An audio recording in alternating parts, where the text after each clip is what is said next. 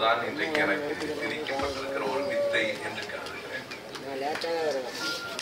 இருப்பினும் இரண்டு மூன்று பதிவுகளை முதலில் இந்த அரங்கில் கூறிவிட்டு நான் உரைக்கு வருவேன். ஒன்று ஆயிரத்தி தொள்ளாயிரத்தி தொண்ணூறுகளின் தொடக்கத்தில் என்னை அரசியல் படுத்திய என் முன்னோடிகளில் ஒருவரான தோழர் மணியரசன் கைது இணையாக நின்று கருத்துக்களை பகிர்ந்து கொள்வதை நான் இந்த நல்ல வாய்ப்பினை தந்த நண்பர் கஸ்பர் உள்ளிட்ட சங்கம் நான்கு பொறுப்பாளர்கள் அனைவருக்கும் என் நன்றியை தெரிவிக்கின்றேன். நான் இங்கே கூறப்போகிற கருத்துரைகள் அனைத்தும் என் ஒருவனால் மட்டுமே கண்டுபிடிக்கப்பட்டதோ திரட்டப்பட்டதோ இல்லை. இந்த கருத்துக்களை திரட்டுவதற்கு பல்லாற்றாலும் எனக்கு உதவிய நண்பர்கள் தோழர்கள் உண்டு. அவர்களில் குறிப்பாக சிலர் பெயரை மட்டும் நான் பதிவு செய்ய விரும்புகிறேன். முதலில் கவிஞர் கலி பூங்குன்றன் அவர்கள் அண்ணன் குளத்தூர் மணி அவர்கள் அண்ணன் கா திருநாவுக்கரசு அவர்கள் எஸ் பி ராஜதுரை வா கீதா அவர்கள் ஐயா ஆணைமுத்து அவர்கள் தோழர் ஆ மார்க்ஸ் அவர்கள் தோழர் ஓவியா அவர்கள் உள்ளிட்ட அனைவருக்கும் என் நன்றியை பதிவு செய்து நான் என் உரையை தொடங்குகிறேன். என் பேச்சு மூன்று பகுதிகளாக அமைந்திருக்கும். ஒன்று தமிழுக்கும் திராவிடத்திற்கும் இடையிலான உறவு. கவனியுங்கள் நான் முரண் என்று குறிப்பிடவில்லை உறவு என்று சொல்லுகிறேன். இரண்டாவது தமிழுக்கு திராவிடம் செய்திருக்கிற ஆற்றி இருக்கிற பணிகள் தொண்டுகள். மூன்றாவது திராவிட இயக்க எதிர்ப்பின் பின்புறம் என்கிற மூன்று அடிப்படையில் என் உரையை நான் அமைத்துக் கொள்ளுவேன். என்னை என்று சொல்வதை விட இந்த கருத்துடைய எங்களை பொறுத்தவரையில் திராவிடம் என்பது ஆரியத்தின் எதிர்ச்சி திராவிடத்திற்கும் தமிழுக்கும் எந்த முரண்பாடும் இல்லை. நட்பு முரண்பாடு கூட சில வேறுபாடுகள் இருக்கலாம். இன்னும் நான் இப்படி சொல்ல வேண்டுமானால் ஏன் முரண்பாடுகளே இல்லாத இரு கருத்தாக்கங்களுக்கு இடையில் இங்கே இப்படி ஒரு மோதல் வருவது போல இருக்கிறது என்றால் அதற்கு ஒரே ஒரு காரணம் உண்டு. எப்படியாவது திராவிட இயக்கத்தை வேறறுத்து விட வேண்டும் என்று தமிழ் தேசிய நண்பர்கள் சிலர் கருதுகிறார்கள். எப்படியாவது தமிழ் தேசிய உணர்வு இந்த மண்ணில் தழைக்க வேண்டும் என்று திராவிட இயக்கத்தினர் இதுதான் சரியாக சொன்னால் இந்த மோதல் இருக்கிறதே காதலிலே ஒருதலை காதல் என்பது போல இது ஒருதலை மோதல். நாங்கள் மோதவே தமிழ் வேண்டும் தமிழ் வேண்டும் தமிழ் உணர்ச்சி இந்த மண்ணை ஆள வேண்டும். என்பதுதான் அன்று தொடங்கி இன்று வரைக்கும் திராவிட இயக்கத்தின் அடிப்படை கோட்பாடு. திராவிடம் என்பது ஒரு சொல் இல்லை அது கோட்பாடு. இந்த செய்தி தான் முக்கியமானது. எல்லா சொற்களுக்கும் பொருளை அகராதியில் தேடிவிட முடியாது. சில சொற்களுக்கான பொருளை வரலாற்று நிகழ்வில் கண்டெடுக்க வேண்டும். திராவிடம் என்கிற சொல்லை அகராதியிலே தேடி அதற்கு பொருள் கண்டுபிடித்து திராவிடத்தை நாம் ஒதுக்கிவிட முடியாது. திராவிடம் என்பது தமிழ் சொல் இல்லை அது திரிவு இருக்கலாம். தஞ்சாவூர் தாஞ்சூர் ஆனது போல தூத்துக்குடி டிட்டிகோரின் ஆனது போல தமிழ் திராவிடம் ஆகிவிட்டது என்றால் ஒன்றை நினைவிலே வைத்துக் கொள்ள வேண்டும். தாஞ்சூருக்கும் டுட்டுக்கோரின் என்கிற சொல்லுக்கும் எந்த வரலாறும் இல்லை. திராவிடம் என்கிற சொல்லுக்கும் சுயமரியாதை என்கிற சொல்லுக்கும் ஒரு நூற்றாண்டுக்கும் மேலாக இந்த மண்ணில் வரலாறு இருக்கு. எனவே வரலாற்று நிகழ்வுகளின் அடையாள சொல் அது. திராவிடமும் தமிழும் உறவுடையன என்பதை சில மேற்கோள்களில் இருந்து நான் குறிப்பிடுகிறேன். நேரம் கருதி ஆண்டுகளை பெயர்களை விரைந்து சொல்ல வேண்டிய ஒரு கட்டாயத்தில் நான் இருக்கிறேன். இந்த திராவிடம் என்பது தமிழுக்கான மாற்று சொல் அல்லது தமிழ் சமூகத்தின் மீது ஏற்றப்பட்ட ஒரு பார்ப்பனிய ஆதிக்கத்துக்கான எதிர்ப்பு சொல் என்பதை நடைமுறையில் முதலில் சொன்னவர் என்று நாம் அயோத்திதாச பண்டிதரை சொல்ல வேண்டும். அயோத்திதாசர் எழுதியிருக்கிற அவருடைய அலோசியஸ் அவர்கள் தொகுத்திருக்கிற அந்த அவருடைய அயோத்திதாசரின் சிந்தனைகளில் இருந்து நான் ஒன்றை சொல்லுகிறேன். அந்த வரிகளை மாற்றார். நாங்கள் யார் என்பதற்கு சுதேசிகள் என்கிறார் அயோத்திதாசன் சுதேசிகள் என்றால் யார்? அதற்கு அவர் விடை சொல்கிறார் தமிழ் பாஷையில் பிறந்து தமிழ் பாஷையில் வளர்ந்து தமிழ் பாஷைக்கு உரியவர்களாக விளங்கும் பூர்வ குடிகளாகிய திராவிட குடிகள் நாங்களே இந்த மண்ணில் குடிகள் இது அலோசிஸ் அவர்கள் தொகுத்திருக்கிற அயோத்திதாசர் சிந்தனைகள் புத்தகத்தினுடைய நானூத்தி முப்பத்தி இரண்டாவது பக்கத்தில் இருக்கிறார் அது மட்டுமில்லாமல் ஆயிரத்தி எண்ணூற்றி தொண்ணூத்தி எட்டாவது ஆண்டு ஜூன் மாதம் எட்டாம் தேதி கர்னல் ஆல்காட்டுக்கு அயோத்திதாசன் ஒரு கடிதம் எழுதுகிறார். அந்த கடிதத்தில் அவர் சொல்லுகிறார் இந்த பூமி திராவிட மக்களுக்கு உரியது பார்ப்பனர்கள் உள்ளே புகுந்து எங்கள் கல்வியை பறித்து விட்டார்கள். பிரம்மஞான சபையின் மூலமாக கல்வி கூடங்களை உருவாக்குகிற நீங்கள் மீண்டும் எங்கள் திராவிட பிள்ளைகளுக்கு கல்விக்கான கூடங்களை கட்ட வேண்டும் என்று எழுதுகிறார். எனவே அவர் திராவிடன் என்று சொல்லுவதெல்லாம் தமிழர்களே திராவிடம் என்கிற சொல்லை இயக்க ரீதியாக கொண்டு வந்தவரும் அவரே. ஜான் ரெவரன் ரத்னம் அவர்கள் ஆயிரத்தி எண்ணூற்றி எண்பத்தி ஐந்திலே நடத்திய அந்த பத்திரிகை திராவிட பாண்டியன் ஆசிரியர் குழுவில் அயோத்திதாசன் இருக்கிறார். ஆயிரத்தி எண்ணூற்றி தொண்ணூத்தி இரண்டில் ஆதி திராவிட ஜனசபை அயோத்திதாசரால் தொடங்கப்பட்ட அமைப்பு. ஆயிரத்தி எண்ணூற்றி தொண்ணூத்தி நாலில் திராவிட மகாஜன சபை இரட்டை மலையார் சீனிவாசன் அவர்களால் தொடங்கப்பட்ட அமைப்பு. பின்னே வந்தால் ஆயிரத்தி தொள்ளாயிரத்தி நாற்பத்தி எட்டு ஈரோட்டில் நடைபெற்ற திராவிடர் கழக மாநாட்டில் திராவிட நாடு படத்தை திறந்து வைத்தவர் தமிழ் தென்றல் திருவிக்கா அவர்கள். அந்த படத்தை திறந்து விட்டு அவர் ஆற்றிய உரையில் திருவிக்கா சொல்லுகிறார் திராவிடர் கழகத்தில் உறுப்பினர் அல்லாத நான் இந்த படத்தை திறக்கலாமா என்று யோசித்தேன் என்று சிந்தித்தேன். பிறகு எனக்கு தெளிவு பிறந்தது தமிழர்களாகிய நாம் அனைவருமே திராவிடர்கள் தான் எனவே நாம் படத்தை திறக்க. திராவிட கலை வேறு ஆரிய கலை வேறு. திராவிட பண்பாடு வேறு ஆரிய பண்பாடு வேறு. திருவிக்காவின் சொற்கள். ஏடறிந்த வரலாறு அனைத்தும் நண்பர்களே புத்தன் தொடங்கிய ஆரிய திராவிட போராட்டத்தினுடைய வரலாறு தான் நம் நாட்டை பொறுத்த அளவு. எனவே தமிழ் கலை வேறு திராவிட கலை வேறு ஆரிய கலை வேறு திராவிட பண்பாடு வேறு ஆரிய பண்பாடு வேறு. விளக்கமும் திருவிக்கா சொல்லுகிறார். ஆரிய பண்பாடு என்பது சுரண்டுகிற பண்பாடு. திராவிட பண்பாடு என்பது சமத்துவ பண்பாடு. எனவே நான் இந்த திராவிட நாட்டு படத்தை திறக்க நான் ஒப்புக்கொண்டேன் என்கிறார் இது ஒரு செய்தி. மறைமலை அடிகளார் ஆயிரத்தி தொள்ளாயிரத்தி பதிமூன்றாவது ஆண்டு மெட்ராஸ் யுனைடெட் லீக் அதுதான் திராவிட சங்கத்தினுடைய முன்னோடி அல்லது அதுதான் அப்படி பெயர் மாற்றப்பட்டது. இரண்டு நாள்கள் மெட்ராஸ் யுனைடெட் லீக் சார்பில் நடந்த கூட்டத்திலே மறைமலையடிகள் பேசியிருக்கிறார் அவர். எடுத்துக்கொண்ட தலைப்பு திராவிட நாகரிகம். இரண்டு நாளும் அவர் பேசி இருக்கிற தலைப்பு திராவிட நாகரிகம். பாவாணர் அவர்கள் எழுதியிருக்கிற நூல் திராவிட தாய். தமிழ் தாய் இல்லை. திராவிடம் என்றாலே திராவிட தாய் எல்லாம் தமிழ் தாய். பாவாணர் அவர்களுக்கு ஆயிரத்தி தொள்ளாயிரத்தி ஐம்பத்தி ஏழாவது ஆண்டு வழங்கப்பட்ட அந்த விருது மொழி ஞாயிறு பாவாணர் என்று நாம் சொல்லுவது திட்டமிட்டு திராவிடத்தை மறைப்பதற்காக.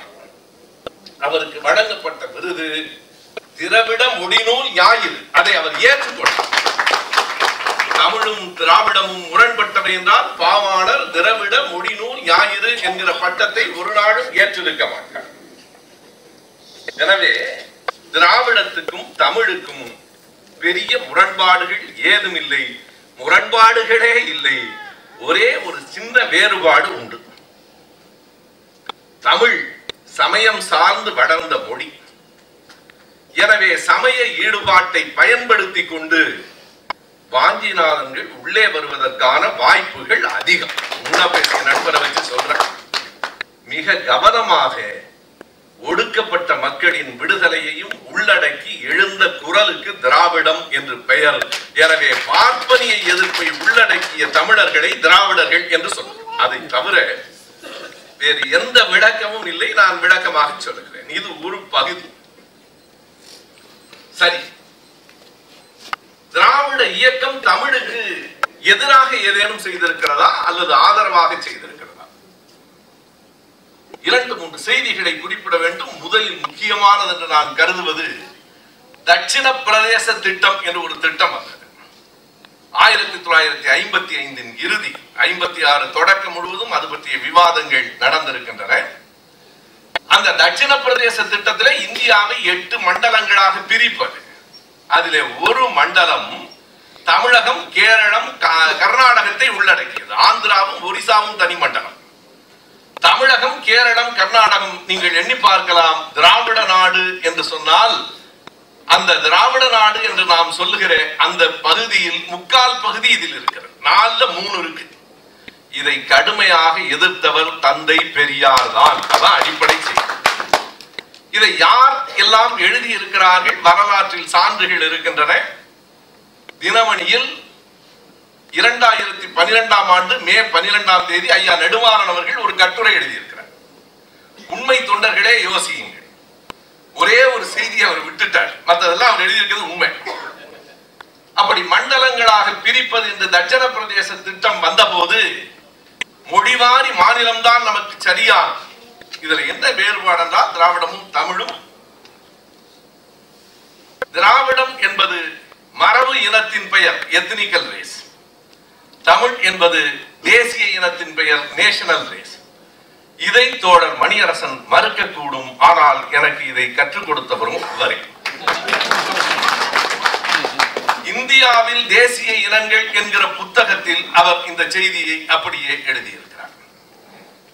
நீங்கள் இந்த வேர்ல்ட் புக் ஆஃப் என்சைக்ளோபீடியாவினுடைய பத்தாவது தொகுதியில் the most south Indians are Dravidians என்றுதான் இருக்கிறது. த என்சைக்ளோபீடியா பிரிட்டானிகாவினுடைய எட்டாவது தொகுதியில் திராவிடர்கள் என்பது ஒரு இனம் என்று குறிக்கப்படுகிறது. மரபு இனம் என்று காகசாயர்கள் நீக்ரோக்கள் மங்கோலியர்கள் ஆஸ்ட்ரலாய்ட் என்று சொல்லுகிற ஆஸ்திரேலியர்கள் இன்றைக்கு இருக்கிற வெள்ளைக்காரன் இல்லை அந்த பழங்குடி மக்கள். இப்படி அந்த அந்த இன பாகுபாடுகளுக்குள் நான் உள்ளே போகவில்லை. அந்த மரபு இனம் தேசிய இனம் என்று வருகிற போது மொழிவாரி மாநிலம் வேண்டும் தமிழ் பேசுகிற நமக்கு தனியாக ஒரு மாநிலம் வேண்டும் மற்றவர்களோடு வேண்டாம் என்று பெரியார் எதிர்த்தார். ஐயா நெடுமாறன் அவர்கள் என்ன எழுதியிருக்கிறார் என்றால் நேரு அவர்கள் பெங்களூரிலே வந்து அமர்ந்து இந்த மூன்று மாநில முதலமைச்சர்களையும் வர சொன்னார். அந்த மாநில மூன்று மாநில முதலமைச்சர்களும் போனார்கள். காமராஜர் அவர்கள் நேருவிடத்திலே பேசி தட்சண பிரதேச திட்டம் கூடாது என்று வலியுறுத்தினார் என்று எழுதியிருக்கிறார். அந்த செய்தி உண்மை. விடுபட்டு போன செய்தியை சொல்லுகிறேன். அந்த நிகழ்வு நடந்த நாள் ஆயிரத்தி தொள்ளாயிரத்தி ஐம்பத்தி ஆறு பிப்ரவரி இரண்டு. அந்த தேதியில் பெரியார் அவர்கள் கொடுத்த தன் தந்தி விடுதலையில் பதிவாகி இருக்கிறது. பெரியார் சொல்லியிருக்கிறார் தெலுங்கர்கள் போய்விட்டார்கள் கன்னடனும் மலையாளியும் போய்விட்டால் தேவலை என்று இருக்கிறது. தமிழ்நாடு என்று தனியாக வர வேண்டுமே தவிர தட்சண பிரதேச திட்டம் வந்தால் உயிரை முன்வைத்தும் போராட தமிழர்கள் தயங்க மாட்டார்கள் என்பதை நேருவிடத்திலே எடுத்து சொல்லுங்கள். திராவிட நாடு கேட்டோம் என்று நாம் சொன்னால் கர்நாடகம் கேரளம் தமிழகம் இணைந்த பகுதி கூடாது என்று சொன்னவர் தந்தை பெரியார் அவர்கள் தான். இரண்டு இரண்டு ஐம்பத்தி ஆறு விடுதலையிலே இந்த செய்தி தந்தி இருக்கிறது. காமராஜர் அவர்கள் அதை ஏற்றுக்கொண்டிருக்கிறார். ஐயா நெடுமாறன் அவர்களுக்கு நன்றாக தெரியும். ஏனோ எழுதவில்லை. ஆனால் நன்றாக தெரியும். அதற்கு பிறகு மிக குறிப்பாக சொல்ல வேண்டுமானால் எந்த இடத்திலாவது திராவிட இயக்கம் தமிழ் தேசிய உணர்ச்சிக்கு எதிராக செயல்பட்டிருக்கிறதா? திராவிடம் என்கிற ஒரு சொல் தமிழ் சொல் இல்லை என்பதனாலே இந்த வரலாற்று நிகழ்வுகள் அனைத்தையும் நாம் புறக்கணித்து விடுவதா? நண்பர்களே இந்த நாட்டுக்கு வெறும் தட்சிண பிரதேசத்திட்ட எதிர்ப்பு மட்டுமில்லை. நிறைய செய்திகள் இருக்கின்றன. மூன்றினை நான் குறிப்பிட விரும்புகிறேன். ஒன்று தமிழ்நாடு பெயர் மாற்றம். நாம் அறிந்த செய்திதான். ஆனாலும் அதை தேதிகளோடு உறுதியாக சொல்ல விரும்புகிறேன். சங்கரலிங்கனார் அதற்காக பட்டினி போர் நடத்தி தன் உயிரையே பலி கொடுத்தார். அவரை இந்த மேடையில் நாம் நன்றியறிதலோடு வணங்குகிறோம். நண்பர்களே அது நிகழ்ந்தது ஆயிரத்தி தொள்ளாயிரத்தி ஐம்பத்தி ஆறாவது ஆண்டு. ஐம்பத்தி ஐந்தின் இறுதியில் இந்த ஊருக்கும் இந்த மாநிலத்துக்கும் இனிமேல் சென்னை ராஜ்யம் என்கிற பெயரை மற்றவர்களால் சகித்துக் கொள்ள முடியுமோ முடியாதோ என்னால் சகித்துக் கொள்ள முடியாது. தமிழ்நாடு என்று பெயர் வைக்க வேண்டும் என்று ஆயிரத்தி தொள்ளாயிரத்தி ஐம்பத்தி ஐந்து அக்டோபர் பதினொன்றாம் தேதி எழுதியவர் தந்தை பெரியார். அவர்தான் முதல்ல. சங்கரலிங்கனார் அதை எடுத்து உண்ணாவிரதம் இருந்தார் உயிர் துறந்தார். ஆயிரத்தி தொள்ளாயிரத்தி அறுபத்தி மூன்று மே மாதம் இரண்டாம் தேதி. மாநிலங்களவையில் அறிஞர் அண்ணா அவர்கள் பேசிய அந்த பேச்சு இருக்கிறதே பெயர் மாற்றம் குறித்து வரலாற்றில் மிகப்பெரிய சிறப்பு வாய்ந்த பேச்சு. மாநிலங்களவையிலே அறிஞர் அண்ணா அவர்கள் பேசுகிற போது பலரும் குறுக்கிடுகிறார் குறுக்கிடுகிறவர்களிலே காங்கிரஸ் கட்சியை சேர்ந்தவர்கள் தமிழ்நாட்டிலிருந்து போனவர்கள் இருக்கிறார் குறிப்பாக டி எஸ் பட்டாபிராம். அண்ணாவை எதிர்த்து சொல்லுகிறார். அப்போது அண்ணா சொன்ன பதில் நான் திராவிட இயக்கத்தை சேர்ந்தவன். தமிழ்நாட்டுக்கு தமிழ்நாடு என்கிற பெயர் வைக்க வேண்டும் என்கிற கோரிக்கையோடு டெல்லிக்கு வந்திருக்கிறேன். டி. எஸ். பட்டாபிராமன் அவர்களை நான் அன்போடு கேட்டுக்கொள்ளுகிறேன். ஆங்கிலத்தில் இருக்கிற அந்த உரை. Let us not face each other as DMK and Congress men let us at least face here as Tamilians in this parliament. என்று சொல்றார். நாம் தமிழர்கள் என்கிற உணர்வோடு இங்கே சந்திப்போம். காங்கிரஸ்காரன்னு போய் சென்னையில போய் சண்டை போட்டுக்கலாம்.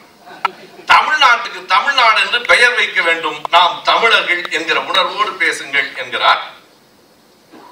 பிறகு ஜி ராஜகோபாலன் என்கிறவரும் அன்பர் என்கிறவரும் அண்ணாவின் பேச்சில் குறுக்கிடுகிறார். சரி இப்ப மெட்ராஸ் என்பது தமிழ்நாடுன்னு மாத்திட்டா என்ன லாபம் அதுல? என்ன இருக்கு? பெயர் மாற்றுவதில்? என்று கேட்கிறார். இது மெட்ராஸ் என்ன இருந்தா என்ன? தமிழ்நாடுன்னு மாத்துறதுல என்ன லாபம்? அறிஞர் அண்ணா அவர்கள் சொன்ன விடையை சொல்லுகிறேன். இது லாப நட்ட கணக்கு பார்த்து பேசப்படுகிற பேச்சு இல்லை. என் மண்ணுக்கு எங்கள் மண்ணுக்கு எங்கள் மொழியில் பெயர் வைக்க வேண்டும் என்கிற தன்மான உணர்வின் வெளிப்பாடு. அடுத்ததாக அண்ணா சொல்லுகிறார் சென்னையில இருக்கிற சைனா பஜாரை நேதாஜி சுபாஷ் சந்திர போஸ் சாலை என்று மாற்றினீர்களே என்ன லாபம் என்று கணக்கு பார்த்தா மாற்றினோம். அது சீனாக்காரன் பேரில் இருப்பதை விட இந்தியாவுக்கு போராடிய ஒரு தியாகியின் பெயரால் இருக்க வேண்டும் என்று நாம் நினைத்தோமே அந்த உணர்வோடு சொல்லுகிறேன் தமிழ்நாட்டுக்கு தமிழ்நாடு என்று பெயர் வைக்க வேண்டும். அது மட்டுமில்லாமல் நீங்கள் மெட்ராஸ் ஸ்டேட் என்று சொல்லுவதன் மூலமாக ஒரு தலைநகரத்தையும் மாநிலத்தையும் குழப்பிக் கொள்ளுகிறீர்கள். அப்படியானால் அகமதாபாத் ஸ்டேட் என்று சொல்ல தயாரா? சண்டிகார் ஸ்டேட் என்று சொல்ல தயாரா? அது கேரளமாக பஞ்சாபாக குஜராத்தாக இருக்குமானால் எங்கள் மண் தமிழ்நாடாக இருக்க வேண்டும் என்று வாதித்தவர் கவிஞர் அண்ணா அவர் அதற்கு பிறகு அறுபத்தி எட்டில அண்ணா அவர்கள் அந்த பெயர் மாற்றத்தை கொண்டு வருகிறார். அது ஒரு செய்தி பிறகு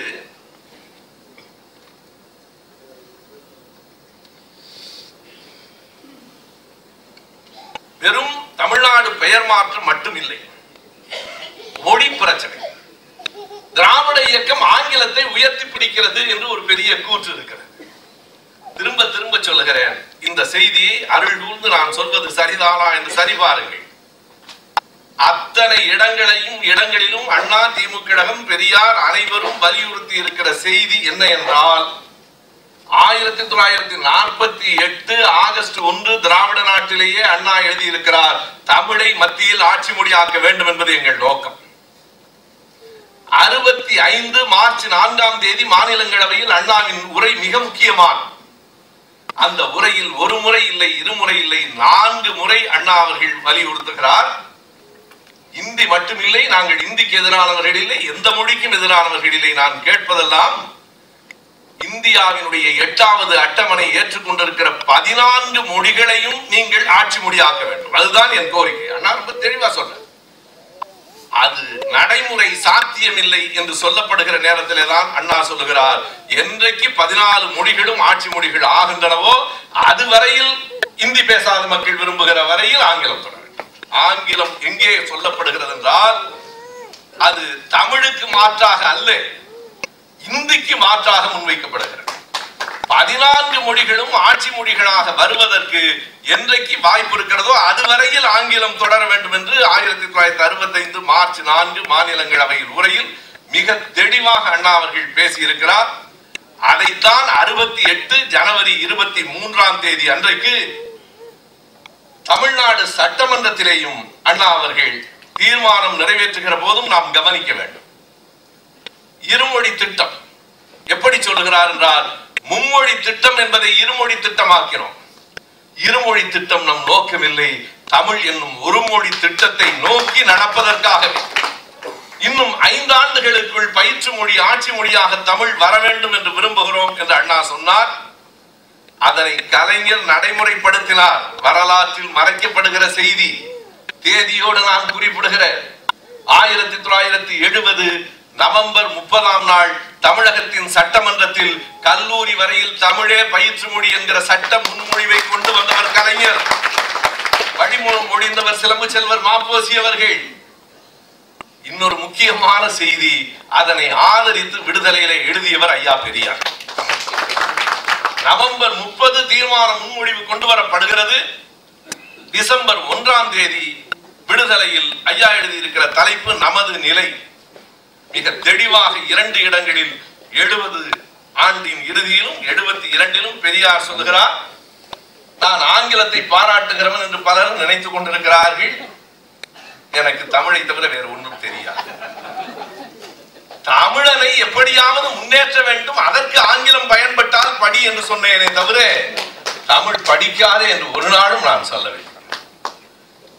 கருணாநிதி அவர்கள் கொண்டு வந்திருக்கிற இந்த தமிழ் பயிற்சி மொழி திட்டத்தை நாடும் இளைஞர்களும் ஏற்றுக்கொள்ள வேண்டும் என்று கேட்டுக் கொள்ளுகிறேன் அடுத்த வேண்டுகோள் வைக்கிறார் பெரியார். காமராஜர் போன்ற பெரும் தலைவர்கள் இதில் கட்சி வேறுபாடு பார்க்காமல் இனத்தின் நலன் கருதி தமிழ் பயிற்று மொழி என்பதை ஏற்க வேண்டும். திராவிட இயக்கம் தமிழுக்கு எப்படி எதிராக இருக்க முடியும்? நண்பர்களே அண்ணா மாநிலங்களவையில் பேசியதோடு முடிந்து போய்விடவில்லை ஏன்னா அப்படி சொல்லுவாங்க. அதுக்கப்புறம் கலைஞர் வந்ததுக்கு அப்புறம் ஒண்ணும் செய்யல. ஆயிரத்தி தொள்ளாயிரத்தி எண்பத்தி இரண்டு நவம்பரிலே முரசொலி மாறனவர்கள் இதே தீர்மானத்தை முன்மொழிகிறார். அப்ப பதினைந்து. இரண்டாயிரத்தி பனிரெண்டு டிசம்பர் ஏழாம் தேதி ரெண்டு வருஷத்துக்கு முன்னாலே இதே தீர்மானத்தை நம்முடைய மா- மாநிலங்களவை உறுப்பினர் திருச்சி சிவா முன்மொழிகிறார். இப்ப இருபத்தி ரெண்டு. சிவா பேசுகிற போது என்ன பேசுகிறார்னா அண்ணா சொல்லுகிற போது அது நடைமுறை சாத்தியமில்லை அறிவியல் வழி தொழில்நுட்பம் வளரலன்னு சொன்னீங்க. இன்னைக்கு அறிவியல் தொழில்நுட்பம் எல்லாம் வளர்ந்திருக்கிறது. இருபத்தி இரண்டு மொழிகளையும் ஆட்சி மொழிகளாக்குங்கள். ஆங்கிலத்தை நிலைநிறுத்துங்கள் என்பது இல்லை தீர்மானம். தமிழ் உள்ளிட்ட இருபத்தி இரண்டு மொழிகளையும் ஆட்சி மொழிகள் ஆக்குங்கள் என்பதுதான் திராவிட இயக்கத்தின் கோட்பாடு. திராவிட இயக்கம் தமிழகத்தில் தமிழ் உணர்ச்சியை வளர்த்தது என்பதற்கு ஆயிரம் சான்றுகள் உண்டு. குறிப்பாக இரண்டு சான்றுகளை சொல்லி நான் என் மூன்றாவது பகுதிக்கு செல்லுகிறேன். ஒன்று நா வானமாமலை அவர்கள் நடத்திய நாவா ஆராய்ச்சி என்கிற புத்தகத்தில் ஆயிரத்தி தொள்ளாயிரத்தி தொண்ணூத்தி ஏழாவது ஆண்டு மே மாதம் முனைவர் கா. சிவத்தம்பி அவர்கள் ஒரு கட்டுரை எழுதியிருக்கிறார். அந்த கட்டுரையில அவர் சொல்லுகிறார் திராவிட இயக்கத்தினுடைய பெரு பேருதான் தமிழ் தேசிய உணர்வு இது சிவத்தம்பியினுடைய கூற்று. வளர்ச்சி போக்கில் திராவிட இயக்கம் இந்த மண்ணில் உருவாக்கிய அதனுடைய பெரு பேர் அதனால் பெற்ற பயன் தமிழ் தேசிய உணர்வு. இன்னொருவர் எழுத்தாளர் பொன்னீலன் தற்கால தமிழ் இலக்கியமும் திராவிட இயக்க சிந்தனைகளும் என்கிற நூலிலே பொன்னீலன் எழுதுகிறார் தமிழ்நாட்டில் மேடைகளில் பேசி தமிழ் உணர்ச்சியை வளர்த்தவர்கள் திமுக காரர்கள் என்பதை மறுக்க முடியாது. பொன்னீலனுடைய கருத்து. என் அனுபவத்தில் இருந்து சொல்ல வேண்டுமானால் நான் அண்ணா கலைஞர் பேராசிரியர் பேச்சுகளை கேட்டிருக்கிறேன். நாவலர் அவர்களின் மேடை பேச்சில் பாரதிதாசனின் எங்கள் வாழ்வும் எங்கள் வளமும் பாட்டை கேட்டு கேட்டுத்தான் அப்பாவிடத்திலே நான் பாரதிதாசன் பாடல் புத்தகம் கவிதை புத்தகம் ஒன்று வாங்கி கொடுங்கள் என்று கேட்டேன். பாரதிதாசனினுடைய கவிதைகளை தமிழ்நாடெங்கும் பரப்பிய இயக்கம் திராவிட இயக்கம் அது என்ன தமிழுக்கு எதிரானதா? நல்லது நண்பர்களே நேரம் இல்லை. திராவிட இயக்க எதிர்ப்பின் பின்புலம். எங்கே இருந்து தொடங்குகிறது? யாரிடமிருந்து தொடங்குகிறது? தமிழுக்கும் திராவிடத்துக்கும் மோதல் வருவதால் யாருக்கு நன்மை? திராவிடம் யாரை எதிரி என்று கருதுகிறதோ அந்த பார்ப்பனியத்தை தவிர வேறு யாருக்கும் நன்மை கஸ்பர் அவர்கள் இணக்கமாக போங்கள் என்றார்கள். அவர்கள் பின்னால் போக கூட நான் தயாராக இருக்கிறேன். இணக்கமாக திராவிடத்துக்கு தமிழுக்குமான போலிய போலியான தேவையற்ற மோதலை நிறுத்துவதுதான் எங்கள் நோக்கம். மோதுவது நோக்கமே இல்லை. நாம் மோத வேண்டியவர்களை தப்பிக்க விட்டு விடாதீர்கள் என்பது என் வேண்டுகோள். நமக்குள் மோதல் என்பது ஒரு திசை திருப்பதாகி நாம் மோதிக் கொள்ளுகிற போது அவர்கள் தப்பித்துக் கொள்வதற்கு நீங்கள் காரணமாகி விடாதீர்கள் என்று நான் அன்போடு கேட்டுக்கொள்ளுகிறேன். இந்த எதிர்ப்பை முதலில் தொடங்கி வைத்தவர் வாவேசு ஐயர் என்று சொன்னால் பலருக்கு வியப்பாக இருக்கும். மறைமலை அடிகள் திராவிட இயக்கத்தை எதிர்த்திருக்கிறார். மொழி அடிப்படையில் இல்லை. தாழ்த்தப்பட்டவர்களை கோயிலுக்குள் அழைத்து வந்தது பற்றி பேசுகிற போது மறைமலை அடிகள் அதை மறுக்கிறார். வரக்கூடாது என்பதில்லை. ஆனால் மூன்று நிபந்தனைகள். அவர்கள் துவைத்து குளித்து ஆடைகளை சுத்தமாக உடுத்திக் கொள்ள வேண்டும். புலால் உண்பதை நிறுத்த வேண்டும். பெயர்களை நல்ல சைவ வெள்ளாழ பெயர்களாக மாற்றிக் கொள்ள வேண்டும் என்று எழுதுகிறார். பெரியார் கேட்கிறார் அதனாலதான் நீங்க உள்ள விடலையா? அடுத்த கேள்வி என்ன கேட்கிறார்? அப்படி அதுதான் உண்மை என்றால் நீங்க என்ன உள்ள விடக்கூடாது என்று. சொல்லிவிட்டு பெரியார் சொல்றாரு ஐயா நான் தினம் குடிக்கிறதே இல்லை. தினம் இறைச்சி சாப்பிடுறேன். என் பேர் ஒண்ணும் அப்படி வெள்ளாட சைவ பெயர் இல்லை. அது வேற வைணவ பெயர் வேற ராமசாமி. என்ன எப்படி உள்ள விட்டீங்கன்னு கேட்கிறார். நண்பர்களே தமிழ் உணர்வு தமிழ் தேசிய உணர்வு என்பதை சமூக நீதியோடு சேர்த்து பின்னி பிணைத்து எடுத்துக்கொண்டு போக வேண்டும் என்பது திராவிட இயக்கத்தின் அடிப்படை. சாதி எதிர்ப்பும் ஆணாதிக்க எதிர்ப்பும் இல்லாத தமிழ் தேசியம் பயன்படாது என்பது திராவிட இயக்கத்தின் வெளிப்பாடு. ஆயிரத்தி தொள்ளாயிரத்தி இருபத்தி ஒன்பதுல நடந்த அந்த சுயமரியாதை மாநாட்டில் இது தேவையான யோசிச்சு பாருங்க. பெரியார் ஒரு அறிவிப்பு கொடுக்கிறார். நாடார் சமூகத்தை சார்ந்தவர்கள் சமையலில் ஈடுபட்டிருக்கிறார்கள். அதை சாப்பிடுறதுன்னா வா இல்லைன்னா உள்ள வராது. யாரை நீங்கள் விலக்கி வைக்க வேண்டும் என்று கருதுகிறீர்களோ ரொம்ப சமூக அடித்தளத்தில் ஒதுக்கப்பட்ட மக்களை மேலே கொண்டு வருவதற்காக தமிழ் கூட எங்களுக்கு அப்புறம் சமூக நீதி முதல்ல சொன்ன இயக்கம் திராவிட அவ்வளவுதான். இது தமிழுக்கு எதிரானது அல்ல. சமூக நீதியோடு சேர்ந்து வர வேண்டும் என்பது மாவேசு ஐயர். நான் விரைந்து சொல்லிவிடுகிறேன். ஆயிரத்தி தொள்ளாயிரத்தி முப்பத்தி நாலு டிசம்பர் மாதம் பதினாறாம் தேதி பகுத்தறிவு இதழ். அப்ப பகுத்தறிவு தான். குடியரசு நின்ன நேரம். அந்த பகுத்தறிவுல ஐயா ஒரு பழைய நிகழ்ச்சி எழுதுறாரு. ஆயிரத்தி தொள்ளாயிரத்தி இருபத்தி அஞ்சுல சேரன் மாதேவி போராட்டம் நடைபெற்றுக் கொண்டிருந்த போது வாவேசு ஐயர் எழுதுகிறார் அந்த போராட்டத்தை முன்னின்று நடத்தியவர்கள் நாம் அறிவோம் வரதராஜன் நாயுடுவும் ஐயாவும்.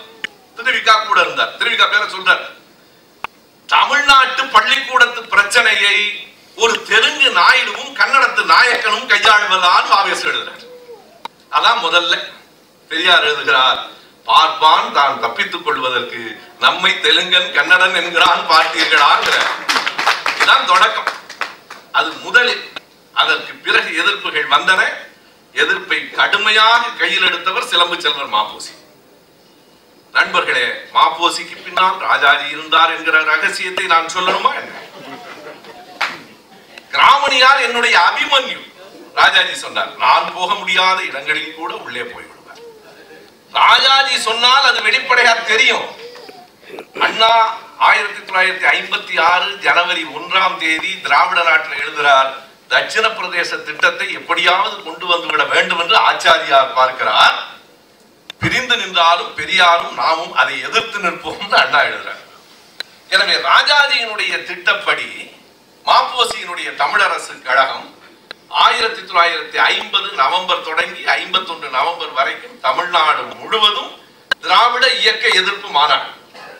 அதுல கள்ளக்குறிச்சியில் நேரடியாக மறைந்த அந்தாளனார் அவர்கள் என்னை அழைத்து கொண்டு போய் அந்த செய்தியை வாங்கி கொடுத்தார்கள். அந்த ஊர்ல இருக்கிற மிகப்பெரிய பார்ப்பன பணக்காரர் அந்த மாநாட்டு செலவை முழுவதும் எங்கள் தாத்தா தான் ஏற்றுக்கொண்டார் என்கிட்ட சொன்னார். எனவே திராவிட இயக்க எதிர்ப்பு மாநாட்டை அவர்கள் கண்டிப்பாக ஏற்றுக்கொள்வார்கள். சிலம்பு செல்வர் மிகச்சிறந்த தமிழ் பற்றாளர். திராவிட இயக்க எதிர்ப்பு மாநாடு நடத்துகிற போதெல்லாம் முதல் நாள் சிலப்பதிகார மாநாடும் நடத்தியவர். ஆனால் என்ன செய்தி என்றால் அவர் எழுதியிருக்கிற தமிழும் சமஸ்கிருதமும் புத்தகத்தை தயவு செய்து படியுங்கள். மாப்போசி எழுதுகிறார் தமிழ் என் தாய்மொழி என்றாலும் நான் இந்தியன் இந்து என்ற மொழியில் என்ற வகையில் சமஸ்கிருதம் என் கலாச்சார மொழி. பக்கம் நாலு. தமிழும் சமஸ்கிருதமும் புத்தகத்துல பக்கம் நாலு. என் கலாச்சார மொழி சமஸ்கிருதம் என்றால் பெரியார் சொன்னார் எங்க கலாச்சாரத்தை கெடுத்த மொழி அல்லவா அது? எங்க தமிழ் தேசியம் திராவிடத்தின் வேறுபாடு என்றால் இது கலாச்சார மொழி இல்லை இதுதான் எங்கள் கலாச்சாரத்தை கெடுத்த மொழி என்று பெரியார் சொன்னார். இன்னொரு செய்தியை சொல்ல வேண்டும். மாப்போசி அவர்களை பொறுத்த அளவு இந்தி எழுத்துக்களை அழித்த போது அவர் மண்ணெண்ணெய் கொண்டு அந்த எழுத்துக்கள் மறுபடியும் ஒளிர்வதற்கு வழி செய்தார். மண்ணெண்ணெய் கிராமணியார் அப்ப கேலி பண்ணிட்டு இருந்தாங்க. அது ஒரு கட்டம். எனவே முழுக்க முழுக்க மாப்போசி அவர்களை பற்றி தோழர் பாலாஜா வல்லவனுக்கு நான் நன்றி சொல்ல வேண்டும். செங்கோல் பத்திரிகையினுடைய ஆறாயிரம் பக்கங்களையும் படித்து அந்த குறிப்புகளை எடுத்து எழுதி கொண்டிருக்கிறார். நான் பார்த்த இடங்களிலே எல்லாம் அதிர்ச்சி தான் எனக்கு காத்திருந்தது. எனவே முழுக்க முழுக்க இந்த திராவிட இயக்க இயக்க எதிர்ப்பு என்பது மறைமுகமாக பார்ப்பனிய ஆதரவில் போய் முடிகிறது என்பதால் தமிழ் பேசிய நண்பர்களே திராவிட இயக்கமும் நாங்களும் நீங்களும் கைகோத்து நடக்க வாருங்கள். பார்ப்பானுக்கு வழி கொடுத்து விடாதீர்கள் என்பது வேண்டுகோள். இறுதியாக ஒன்றை நான் சொல்லி முடிக்கிறேன்.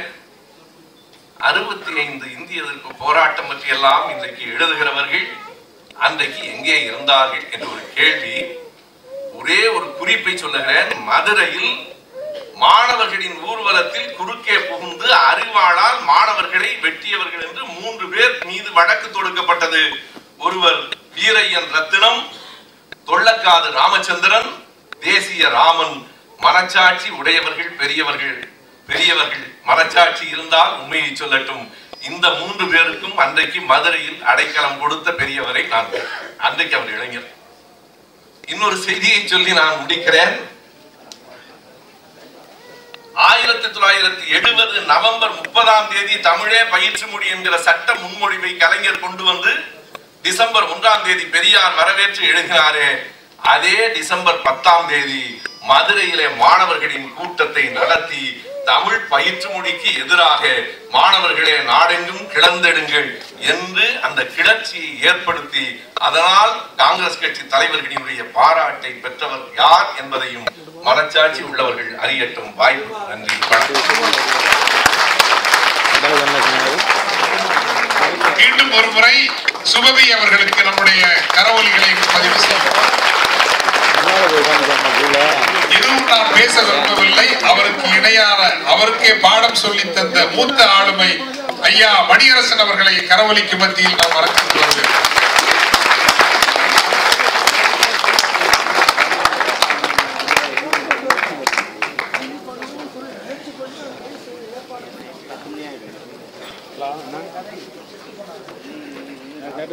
ஐயா மணியரசன் அவர்கள் செய்த பணிகளை பட்டியலிடுவதற்கு நேரமில்லை என்றாலும் தன் வாழ்நாளை இந்த மண்ணுக்காகவும் மக்களுக்காகவும் வேறெந்த பலனும் கருதாமல் அர்ப்பணித்த ஒற்றை காரணத்திற்காக அரங்கு மீண்டும் ஒருமுறை எழுந்து நின்று இந்த மிகப்பெரிய நண்பர்களுக்கு மனிதருக்கு நம்முடைய பாராட்டுக்களை பதிவு ஐயா அவங்க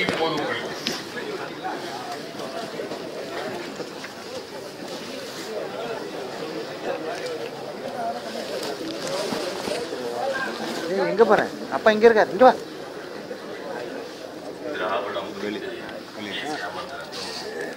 என்னுடைய அன்பிற்கும் மதிப்பிற்கும் உரிய பேராசிரியர் தோழர் உடன்பிறப்பு கொண்டவர் சுபவி அவர்களே. ஐயா ஜெகத் கஸ்பர் அவர்களே சான்றோர் பெருமக்களே அன்பு தோழர்களே நண்பர்களே சகோதரிகளே. இரண்டாவதாக பேச வந்திருப்பதா சில செய்திகளுக்கு பதில் சொல்ல வேண்டியிருக்கு. ஏன்னா நான் என் பேச்சை பேசிட்டு இருப்பேன்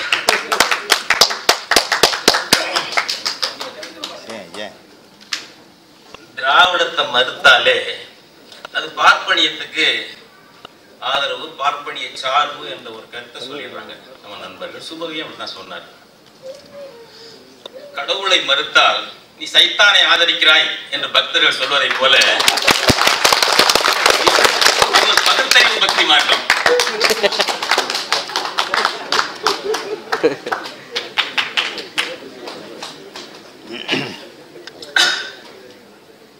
இந்த நாடு பார்ப்பனிய கட்டமைப்பு நாடு என்று கட்சி திட்டத்தில் வைத்திருப்பவர்கள் நாங்கள். பெருமுதலாளிகள் தலைமையிலான பார்ப்பனிய இந்தி ஆதிக்க அரசு என்று இந்திய அரசை நிர்ணயித்திருக்கிறோம். திராவிடர் கழகம் அப்படி நிர்ணயிக்க தயாரா? திராவிட முன்னேற்ற கழகம் அப்படி நிர்ணயிக்க தயாரா? எந்த திராவிட இயக்கம் அப்படி நிர்ணயிக்க தயார்? இந்த நாடு இந்திய அரசு என்பது தமிழ் இனப்பகை அரசு. இந்தியாவிலிருந்து தமிழ்நாடு விடுதலை அடைந்தால்தான் தமிழ் தேசிய இனம் வாழும் என்று நாங்கள் பகிரங்கமாக சொல்லுகிறோம். எந்த திராவிட இயக்கம் அப்படி சொல்லுகிறது? எந்த திராவிட இயக்கம் சொல்லுகிறது? தேர்தலில் நிற்காத திராவிட இயக்கம் சொல்லலாம் அல்லவா?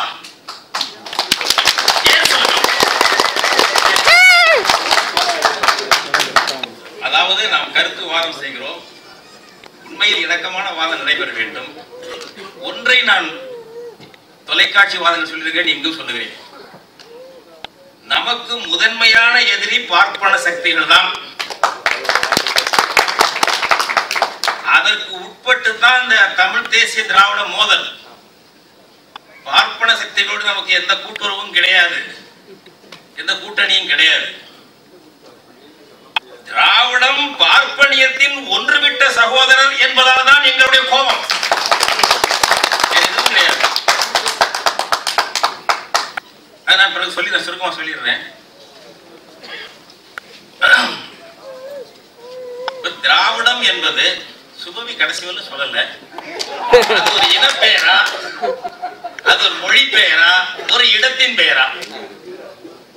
சுபவி என்ன சொல்றாருன்னா அவர் கலாச்சாரம். ஏன்னா அவங்க தலைவர் கலைஞர் அதான் சொல்றாரு. கலாச்சாரம். நடிகர் செல்வனுடைய கவிதை நூல் வெளியீட்டு விழாவில் கலைஞர் நான்லாம் பேசணும். அப்ப இந்த திராவிடம் தமிழ் தேசியம் பத்தி வாக்குவாதம் வந்தது. கவிதையிலையும் இருந்தது. கலைஞர் கடைசியில பேசும்போது இணக்கமா பேசினார். அண்ணா மிகச்சரியாக ஆரியர் திராவிடர் என்று பிரிக்காமல் ஆரியம் திராவிடம் என்றுதான் சொன்னார். நாங்கள் ஆரியத்தையும் ஒரு இனமாக சொல்லவில்லை திராவிடரையும் ஒரு இனமாக சொல்லவில்லை என்று கலைஞர் சொல்கிறார்.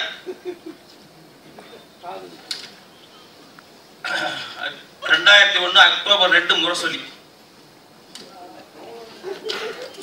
எனவேதான் அண்ணா அவர்கள் மிகுந்த எச்சரிக்கையாக ஆரியர் திராவிடர் என்று பகுத்து குறிப்பிடவில்லை. ஆரியம் திராவிடம் என்று கலாச்சாரங்களை வேறுபடுத்தி காட்டினார்கள். திராவிடர் கழகம் என்று வைத்திருக்கிறார்களே அதை பற்றி உங்கள் கருத்து என்ன? திராவிடர் கழகம் சொல்லக்கூடிய திராவிடம் வேறு திமுக சொல்லக்கூடிய திராவிடம் வேறு. திமுக சொல்லக்கூடிய திராவிடத்தை தான் சுபவி சொல்லுகிறார். திராவிடர் கழகத்தோடு அவர் ஒத்து போகவில்லை என்றால் திராவிடர் கழகமும் பெரியாரும் திராவிடர் தான் அசல் இனம் என்று சொல்கிறார்கள். இன்றைக்கு அவர்கள் திராவிடர் கழகம் என்றுதான் வைத்திருக்கிறார்கள். கலைஞர் சொல்லுகிறார் அண்ணா மிகச்சரியாக திராவிடர் என்று சொல்லவில்லை. திராவிடம் என்று கலாச்சாரத்தை சொல்லுகிறார். அதுக்கு நிறைய சொல்லிக்கிறார். கடைசியில கடைசியில சொல்றாரு நான் இனத்தால் திராவிடன் மொழியால் தமிழன் நாட்டால் இந்தியன். என்று இப்படி ஒரு இன கொள்கை சமூக அறிவியலிலே எந்த விஞ்ஞானத்தில் இருக்கிறது? எந்த நாட்டிலே இருக்கிறது? எவன் ஏற்றுக்கொள்வான் கேரளாவில் இப்படி சொல்வார்களா? ஆந்திர பிரதேசத்தில் தெலுங்கர்கள் இப்படி பேசுவார்களா? கன்னடர்கள் இப்படி பேசுவார்களா? இந்த பாழ்பட்ட தமிழ் மண்ணில் தான் தமிழனுக்கு எதிராக பேச முடியும். அதுவும் முற்போக்கு அதுதான் சமத்துவம் என்று சொல்லி காட்ட முடியும். அதோட விளக்கம் சமூக அறிவியல் படி. மரபு இனம். நான் சொல்றது உண்மைதான். நானும் கட்டுப்பட்டு தான் வளர்றோம். நான் தோன்றீஸ்வரர் அல்ல நான் நான் பிறவியிலே கதைதான் கிடையாது. மரபு இனம் திராவிடன்னு தவறாக நான் சொன்னேன் அதை எழுதிட்டேன். தவறுனேன். பெரியாரை வந்து தமிழ் தேசிய தந்தை என்று ஒரு இருபது ஆண்டு முன்னாடி எழுந்தேன் அது தவறுன்னு நான் திரும்பி எழுதிட்டேன். வளர்ந்து இருக்கிறோம். அது வளர்ந்து போறமே தவிர முன்னுக்கு பின் முரண் இல்லை. பெரியார் மாதிரி மாத்திக்கல. பெரியார் முப்பத்தி எட்டுல தமிழ்நாடு தமிழருக்கேன்னு முழக்கம் போட்டாரு முப்பத்தி ஒன்பதுல திராவிட நாடு திராவிடருக்கேன்னு முழக்கம் போட்டாரு. நான் அப்படி மாற்றிக்கொள்ளவில்லை. வளர்ச்சி தான். எல்லாரும் நீங்களும் ஒன்றா? மைக்கு இந்த சில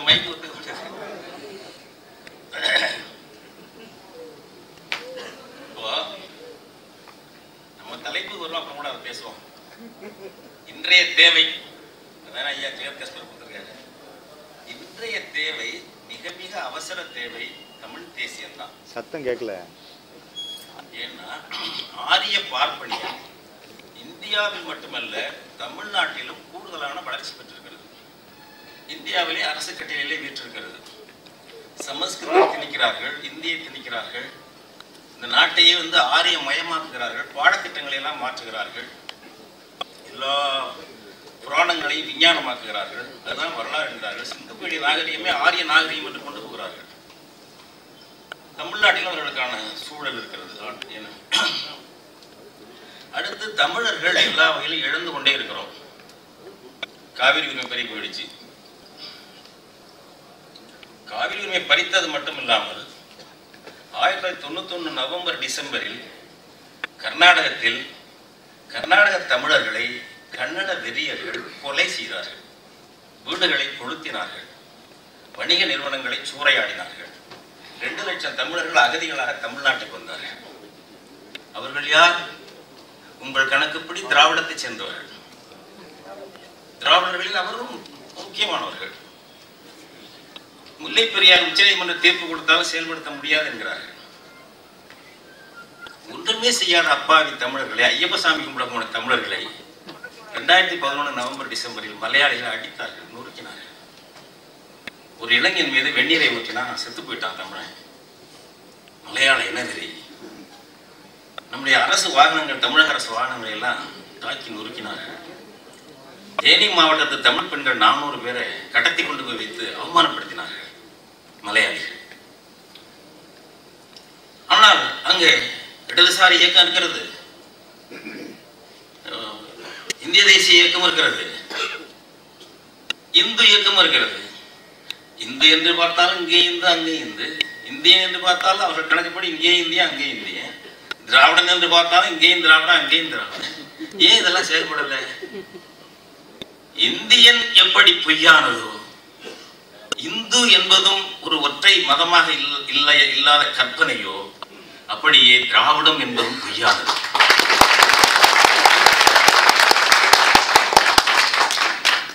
ஒரு கடைசி கணேசபுரத்தில் அணையை கட்டி கசிவு நீரையும் தடுக்கிறான் ஆந்திராவில் பாலாற்று நம்ம வந்த தானே? இதெல்லாம் யார் படித்துக் கொண்டார்கள்? ஏன் நான் கேட்கிறேன்? நீங்க இங்க கம்யூனிஸ்ட் கட்சி இருக்கு காங்கிரஸ் பாஜக இருக்கு திராவிட கட்சி இருக்கு. அவங்கவுங்க அமைப்பு திராவிட கட்சிக்கு அங்கேயும் திராவிடர்கள்லாம் எல்லாரும். பேசி ஒரு கூட்டு சமரச முடிவு எடுக்கலாம். காவேரி முல்லை பெரியாறு பாராறு கம்யூனிஸ்டுகள் ஒரு கூட்டு அறிக்கையாக விடலாம் அங்கேயும் அங்கேயும் சேர்ந்து மாநில செயலாளர்கள் காங்கிரஸ்காரர்கள் செய்யலாம் பாஜக செய்யலாம் ஜனதா தளம் செய்ய ஏன் செய்யவில்லை? செய்ய முடியாது.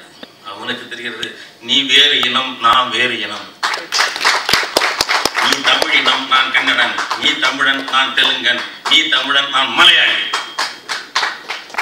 ஒரு அச்சுதானந்த முல்லை பெரியார் அணையை உடைப்பதற்கு இருக்கிறார் என்றால் என்னாச்சு? சரி, ஒன்றரை லட்சம் தமிழர்கள். ஒன்றரை லட்சம் தமிழர்கள் ஈழத்தில் கொல்லப்பட்டார்கள். என்ன படுகொலை செய்யப்பட்டார்கள்? நம்ம தமிழ்நாட்டில் எவ்வளவோ கோளாறு இருக்கு. ஆனாலும் தமிழ்நாடு சட்டசபையில் இந்த அம்மாவே முன்முயற்சி எடுத்து அது இனப்படுகொலை பன்னாட்டு புலனாய்வு தேவை அது நட்பு நாடல்ல பகை நாடு பொருளாதார தடை விதிக்க வேண்டும் இலங்கைக்கு எதிராக கருத்து வாக்கெடுப்பு நடத்தணும் ஈழம் பற்றி என்று ஒரு தீர்மானம் ஒருமித்து நிறைவேற்றுறாங்க. எவ்வளவு பேர் உளப்பூர்வமா எவ்வளவு பேர் நாடகபூர்வமா இருக்கட்டும் ஒரு புறச்சூழல் தமிழ்நாட்டில் அப்படி ஒரு தீர்மானத்தை நிறைவேற்றி வைக்கிறது. ஏனென்றால் தான் ஆடாவிட்டாலும் சதையாடும். நம் இனம் அழிக்கப்பட்டிருக்கிறது. இப்படி ஒரு தீர்மானம் ஏன் கர்நாடகத்தில் இல்லை? ஏன் ஆந்திராவில் இல்லை? ஏன் கேரளத்தில் இல்லை? சட்டசபையில் வேண்டாம். ஒரு கட்சி கூட்டத்தில் கூட கண்டன தீர்மானம் போடவில்லையே. அவர்களும் நானும் ஒரே மரபு இனம் என்றால் ஒரே இனம் என்றால் ஏன் இது கூட தானாடவில்லை என்றால் சதையாடவில்லை? மனிதநேயம் கூட இல்லையே? தமிழர்கள் அழிந்தால் சரி என்று அல்லவா இருக்கிறார்கள்? அங்கெல்லாம் வந்து ஒ- ஒன்று கொடுக்கிறார்கள் ஆயிரம் சண்டை லஞ்சம் லாவணி எல்லாம் இருக்கு ஒன்று கொடுக்கிறார்கள் உடனடியாக. மலையாளி மலையாளியா திரண்டுக்கிறான் அனைத்து கட்சி கூட்டம் போட முடியுது. கர்நாடகத்தில் போட முடியுது. தமிழ்நாட்டில் அனைத்து கட்சி கூட்டம் போட முடியல. சட்டசபையில் ஒரு முதலமைச்சர் முன்னாள் முதலமைச்சர் முதன்மை எதிர்கட்சி தலைவர் மூணு பேரும் ஒண்ணா உட்கார்ந்து பேச முடியல சட்டமன்றத்தில் ஏன்? இந்த மக்கள் கண்டிப்பாக சொல்றதில்லை என்ன அடிப்படையில் தமிழ் மக்கள் திரள்றதில்லை கொஞ்சம் பேர் திரள்றோம். அதை வைத்துக்கொண்டு ஏதோ இடம் வச்சு இருக்கிறதா கருதுறாங்க இந்திய தேசிய கட்சியில் இருக்கக்கூடிய அந்த மாநிலங்களில் உண்மையான அவர்களுடைய இயற்கையான தேசிய இன உணர்ச்சியும் வெறியாகவும் இருக்கிறது. தமிழின உணர்ச்சி இங்கே தமிழின தமிழின ஒற்றுமை ஏன் வரவில்லை? அங்கேதான் உளவியல் ஊனத்தை உண்டாக்கியது திராவிட இயக்கம். சைக்கலாஜிக்கலி ஹேண்டிகேப் தமிழ் யாரால்? தந்தை பெரியாரால் திராவிட இயக்கத்தால். ஒரு சரியான சொல்லை சுபவி சொன்னார் திராவிடம் என்பது ஒரு கோட்பாடு. ஆம். யார் அந்த கோட்பாட்டை வரைந்தவர்? அண்ணா அல்ல கலைஞர் அல்ல பெரியார் தான் வரைந்தார். நீதி கட்சி அல்ல. திருநாவுக்கரசர் இங்க இருக்கிறார்கள் நீதி கட்சி வரலாறு எழுதியவர். நீதி கட்சி திராவிடத்தை எல்லாம் சித்தாந்தமா சொல்லவே இல்லை. பெரியார் தான் தமிழர்னு சொல்லக்கூடாது. அது ஒரு மொழி பேசும் சமுதாயத்தை தான் குறிக்கும்.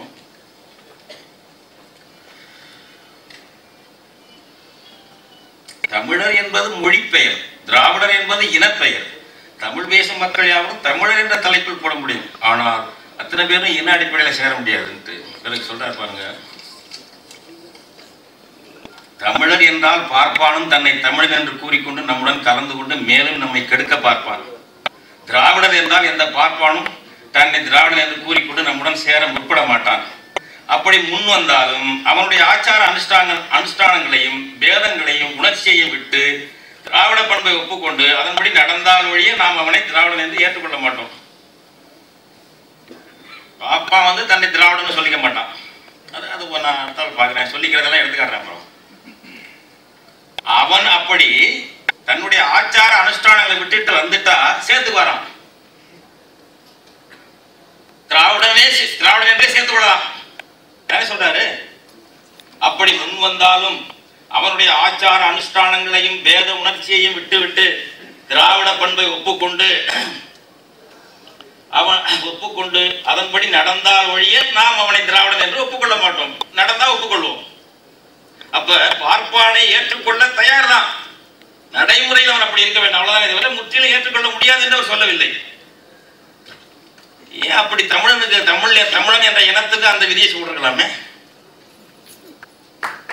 திராவிடனுக்கு இந்த விதிவிலக்கு கொடுக்கும் பொழுது ஐயா அவர்கள் ஏன் தமிழனுக்கு மட்டும் விதிவிலக்கு கொடுக்கல? ஏன் கேள்வி அதுதான். ஏன் தமிழன் மீது மட்டும் இப்படி அந்த அந்த- ஒரு வெறுப்புணர்ச்சி இருக்கு? இந்த நான் படிச்ச மேற்கோள் வந்து எல்லாம் நம்ம நீங்க எல்லாருமே மூன்று தொகுதி ஐயா ஆணைமுத்து போட்டதை படிச்சீங்கன்னா புரிஞ்சுக்கலாம். யாரும் சொல்ல வேண்டியதில்லை. இப்ப கூடுதலா போட்டுருக்காங்க. பழைய மூணு இருந்தாலும் போதும். கூடுதலா கூட முறையா ஒரு மாதம் ரெண்டு மாதம் எடுத்து படிங்க ஆராய்ச்சி பண்ணுங்க. அப்புறம் முடிவுக்கு வாங்க. வேற யார் சொல்றதை நீங்க கேட்க வேண்டியதில்லை. முதல் பக்கம் சொன்னது மறுபக்கம் எப்படி மாறி இருக்கிறது என்பது உங்களுக்கு தெரியும்.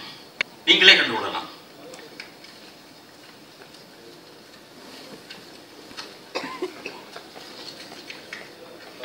ஒரு தேசிய இனம் என்பதும் ஒரு இனம் என்பதும் ஒருவருடைய கொள்கை அடிப்படையில் தீர்மானிக்கிறது இல்லைங்க. சமூக அறிவியல் எப்படி இல்லை. பிரபாகரனும் தமிழன் தான் கருணாவும் தமிழன் தான் இவன் விடுதலை தலைவன் அவன் துரோகி தமிழன். இனம் சிங்களனா நீங்க கருணாவை சிங்களம் சொல்லுவீங்களா? அன்சைன்டிபிக் அவன் இனத்துரோகி அவ்வளவுதான். தவிர அவன் பிறந்த இனம் அவன் தாய் தகப்பனுக்கு பிறந்தவன். பிறந்த இனம் அவன் தமிழன் தான் இனம் என்பது பிறப்பால் தீர்மானிக்கப்படுகிறதே தவிர குணத்தால் அல்ல. கொள்கையால் அல்ல. கொள்கை விளக்கம் தருகிறான் பெரியார். இந்த திராவிடர் என்பது எங்கேயாவது நம்முடைய தமிழ் இலக்கியத்துல எங்கேயாவது இருக்கா? சொல்லப்பட்டிருக்கா? அண்ணாவும் அப்பதான் சொன்னாரு கலைஞரும் சொன்னாரு ரவீந்திரநாத் தாகூர் பாட்டில் இல்லையா? உவே சாமிநாதையர் சிலைக்கு கீழே திராவிட வித்யாக வித்யான்லாம் எழுதியிருக்க இல்லையா? இதெல்லாம் ஆரிய சான்றுகள் ஐயா. முத்தமிழ் அவர்கள் தமிழ் சான்று அல்லவா சொல்ல வேண்டும்?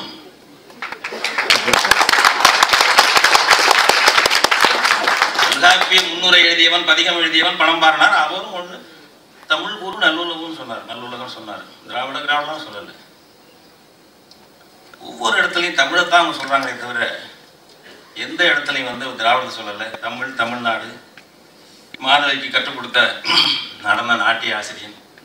தமிழகம் முழுவதும் அறிந்தவன். தமிழ் முழுவதும் அறிந்தவன் என்றார் இளங்கோடிகள். ரெண்டு வரியில தமிழகத்தையும் கொண்டு வந்தார் தமிழையும் கொண்டு வந்தார். புறநானூறு. தமிழ் தலை மயங்கிய தலையாலங்கானத்து. தமிழ் தான் எல்லா தமிழ் எங்கேயும் திராவிட திராவிடம் என்பதை இழிவாக கருதுவார்கள் தமிழர்கள். கொச்சை பெயர். வஜ்ரநந்தி என்று ஒரு ஆரிய சமணம் வந்தான். வஜ்ரநந்தி. அவன் மதுரையில சமண சங்கத்தை தொடங்கினான். அதுக்கு என்ன ஸ்பெஷல் வச்சான் தெரியுங்களா? திராவிட சங்கம். ஆரியர்கள் உருவாக்கம் திராவிடம். அவருடைய செல்ல பெயர் திராவிடம். தமிழ்ச்சங்கம் இருந்த இடத்துல வஜ்ரநந்தி என்ற சமணன் சமத்துவம் பேசக்கூடிய ஒரு மதத்துடைய தலைவன் திராவிட சங்கம் அதுதான் உயர்வு என்று கருதினான். தமிழர்கள் அப்படி வைக்க மாட்டார்கள்.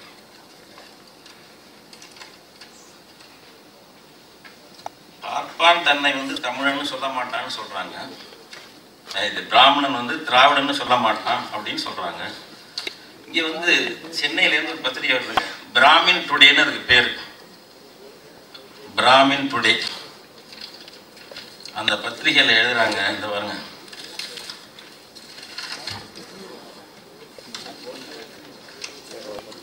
ஆதிசங்கரர் திருஞான சம்பந்தர் பிராமண திராவிடர்கள்.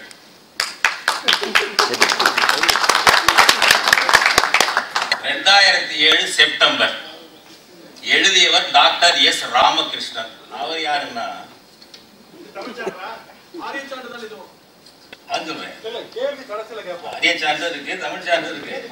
ஆரியர்கள் வந்து நீங்க என்ன சொல்றீங்க? ஆரியர்கள் தங்கள் திராவிடன்னு சொல்லிக்க மாட்டான் பாப்பான் அப்படிங்கிறீங்க எல்லாம் அவன் சொல்றான்னு சொல்ல வர்றேன். திராவிடன் என்று சொன்னால் பாப்பான் வரமாட்டான் அப்படின்னு சொல்றீங்கல்ல வந்திருக்கான் பாருங்கன்னு சொல்றேன்.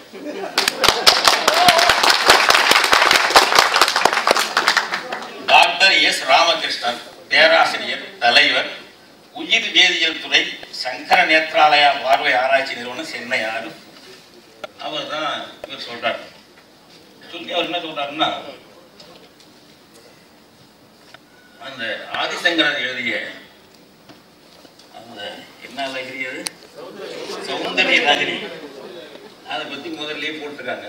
அதுல திராவிட சிசுன்னு ஒரு சொல் வருது. அந்த திராவிட சிசு என்ற சொல் ஆதிசங்கரர் தன்னையே சொல்லிக் கொண்டதாகவும் இருக்கலாம். என்று ஒரு கருத்து இருக்கு. திருஞான சம்பந்தரை சொன்னதாகவும் இருக்கலாம். என்று ஒரு கருத்து இருக்கு. அது என்ன சொல்றாருன்னா யார சொன்னா உனக்கு என்ன ரெண்டு பேரும் பிராமணன் தானே? அப்படிங்கிறான். யாரை சொன்னா ரெண்டு பேரும் பிராமணன் தானையா? கவுனிய கோத்திரம் நம்ம தமிழ் ஞான சம்பந்தம் அவர் தான் திராவிட சிசுங்கிறாங்க. படசு வேண்டாம். இந்த மயிலாப்பூர்ல சமஸ்கிருத கல்லூரி இருக்கு மணி திராவிட்னு ஒரு அது இல்லை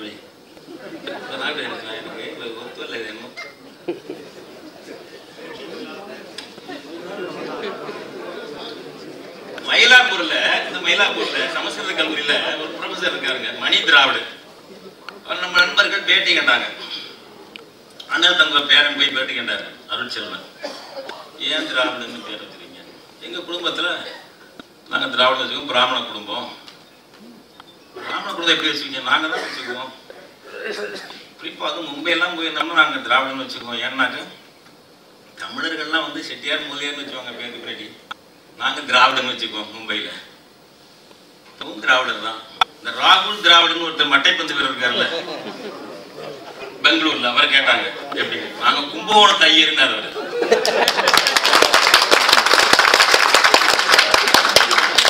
எங்க தாத்தா நாங்கள் நாங்க திராவிடர் சேர்த்துக்குவோம். தமிழ்நாட்டு பிராமி என்பதுனால ஆமா ஆமா. தமிழ்நாடு தானே தமிழ்நாட்டு ஐயர் தானே வந்துடக்கூடாது நீங்க. திராவிடன்னு வரலாம்ல தமிழ்நாட்டு பிராமணன் தமிழ்நாட்டு பிராமணன் மட்டுமல்ல அவன் எழுதுறாங்கல்ல பஞ்ச திராவிடர். தமிழ்நாடு ஆந்திரம் கர்நாடகம் மகாராஷ்டிரம் குஜராத். இந்த அஞ்சு மாநிலத்துல மாநிலமும் அவனுக்கு பஞ்ச திராவிடம் இந்த அஞ்சு மாநிலத்துல உள்ள பிராமணன் பிராமணன் அல்லாதவன் எல்லாம் அவன் வந்து ப- பிராமண குறிப்பா பிராமணர்கள பஞ்ச திராவிட பிராமணர்கள்ங்கிறான். வடநாட்டை அஞ்சா பிரிக்கிறான். அவங்க வந்து பஞ்ச கவுடர்கள்ங்கிறான் அவங்க பீகார் பகுதி இந்த பகுதி காஷ்மீர் உட்பட சொல்றான். பஞ்ச கவுடர்கள் தென்னாட்டு பிராமணர்களுக்கு வந்து பஞ்ச திராவிடர்கள். சரி இவன் சொல்றான் என்சைக்ளோபீடியா பிரிட்டானிக்கா சுபை சொன்னாரு. நாற்பத்தி ஏழுல ஆயிரத்தி நான் இப்படி பேசுறேன். கால் வருதுல்ல? ஆயிரத்தி தொள்ளாயிரத்தி நாற்பத்தி ஏழு வால்யூம் ஏழு எடிஷன் பிப்டீன் டிராவிடியன்ங்கிற சொல்லுக்கு பிரித்தானிய கலைக்கலைஞர் சொல்லுது. Dravidian a name only applied in Indian usage to the southern group of Brahmins.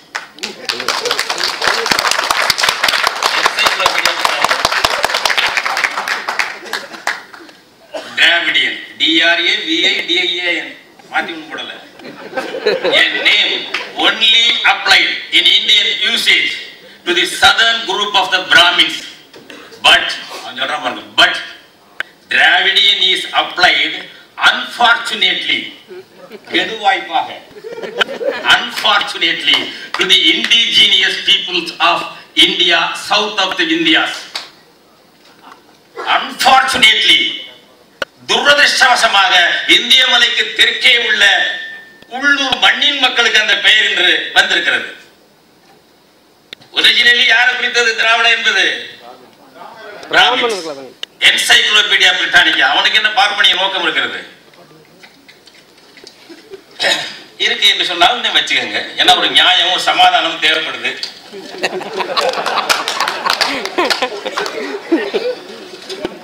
சரி. இது போல நான் என்ன சொல்றேன்?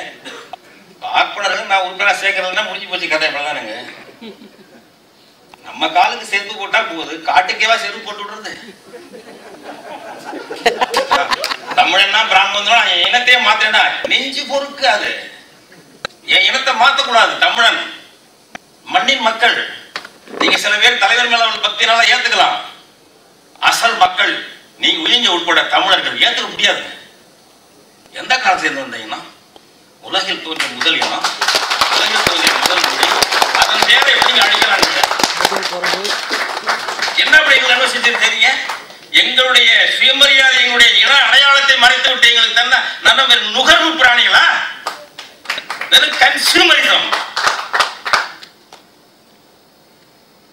ஏன் எங்க அடையாளத்தை இழக்கணும் தெலுங்கன். உங்க பேச்சை கேட்டு தெலுங்கன் மாறினானா?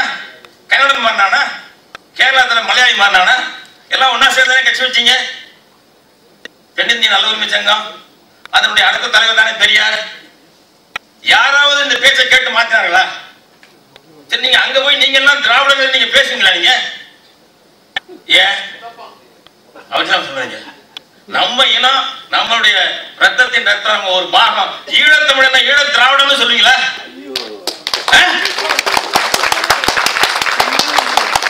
இந்த பாடுபட்ட தமிழ் மண்ணில் மட்டும் அது நடக்கணுமான்னு கேட்கணும் உங்க எல்லாரும் சேர்த்து நான் கேட்கிறேன். மாத்துங்க. நீ தமிழ் தேசியத்தை மறுக்கல. மாத்துங்க.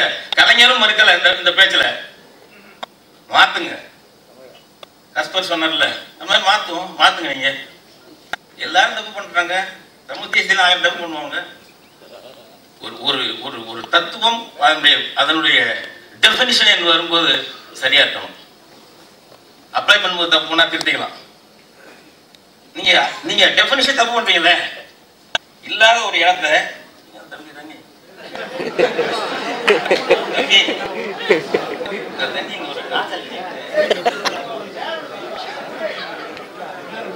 அப்படியே இருக்கட்டும்.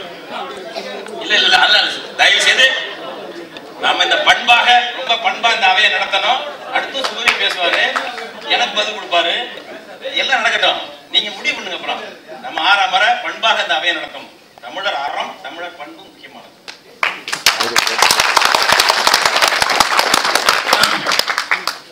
கால்டுவேல் பண்ண கூத்து நான் கேட்டேன் பேராசிரியர் இருநூறாவது நடக்கிறவருக்கு. மதிக்கிறேன். சான்ஸ்கிரிட் ஃபேமிலி இல்லைன்னு கால்டுவேல் முன்னாடி எல்லையும் சொன்னார். தமிழ் சமஸ்கிருத குடும்பத்தை சேர்ந்தது கிடையாது. தெலுங்கு கன்னடம் எல்லாம் கால கிடையாது. ஆயிரத்தி எண்ணூத்தி பன்னெண்டுல எல்லீஸ் துறை சொன்னார். நம்ம அயோத்தியாசர் சொல்லுவாரு எல்லீஸ் துறைக்கு திருக்குறள் கற்றுக் கொடுத்தது அவரிடம் பட்லராக இருந்த என்னுடைய தாத்தா கந்தப்பிள்ளை அப்படிம்பாரு.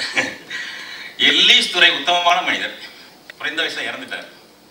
அவர் என்ன சொன்னார்னா இது ஒரு தனி குரூப் அவங்களுக்கு தெரியல அப்பதான் தத்தி தவழ்ந்து வர்றாங்க. சவுத் இந்தியன் லாங்குவேஜ் சொல்லிட்டாரு. தென்னிந்திய மொழிகள். நம்பாடு ஆளு தான் இதுக்கு ஒரு பேர் கொடுக்க போறாங்க.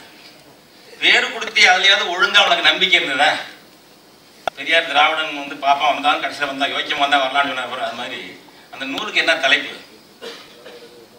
The comparative grammar of Dravidian languages or south Indian languages ஏன் சந்தேகம்?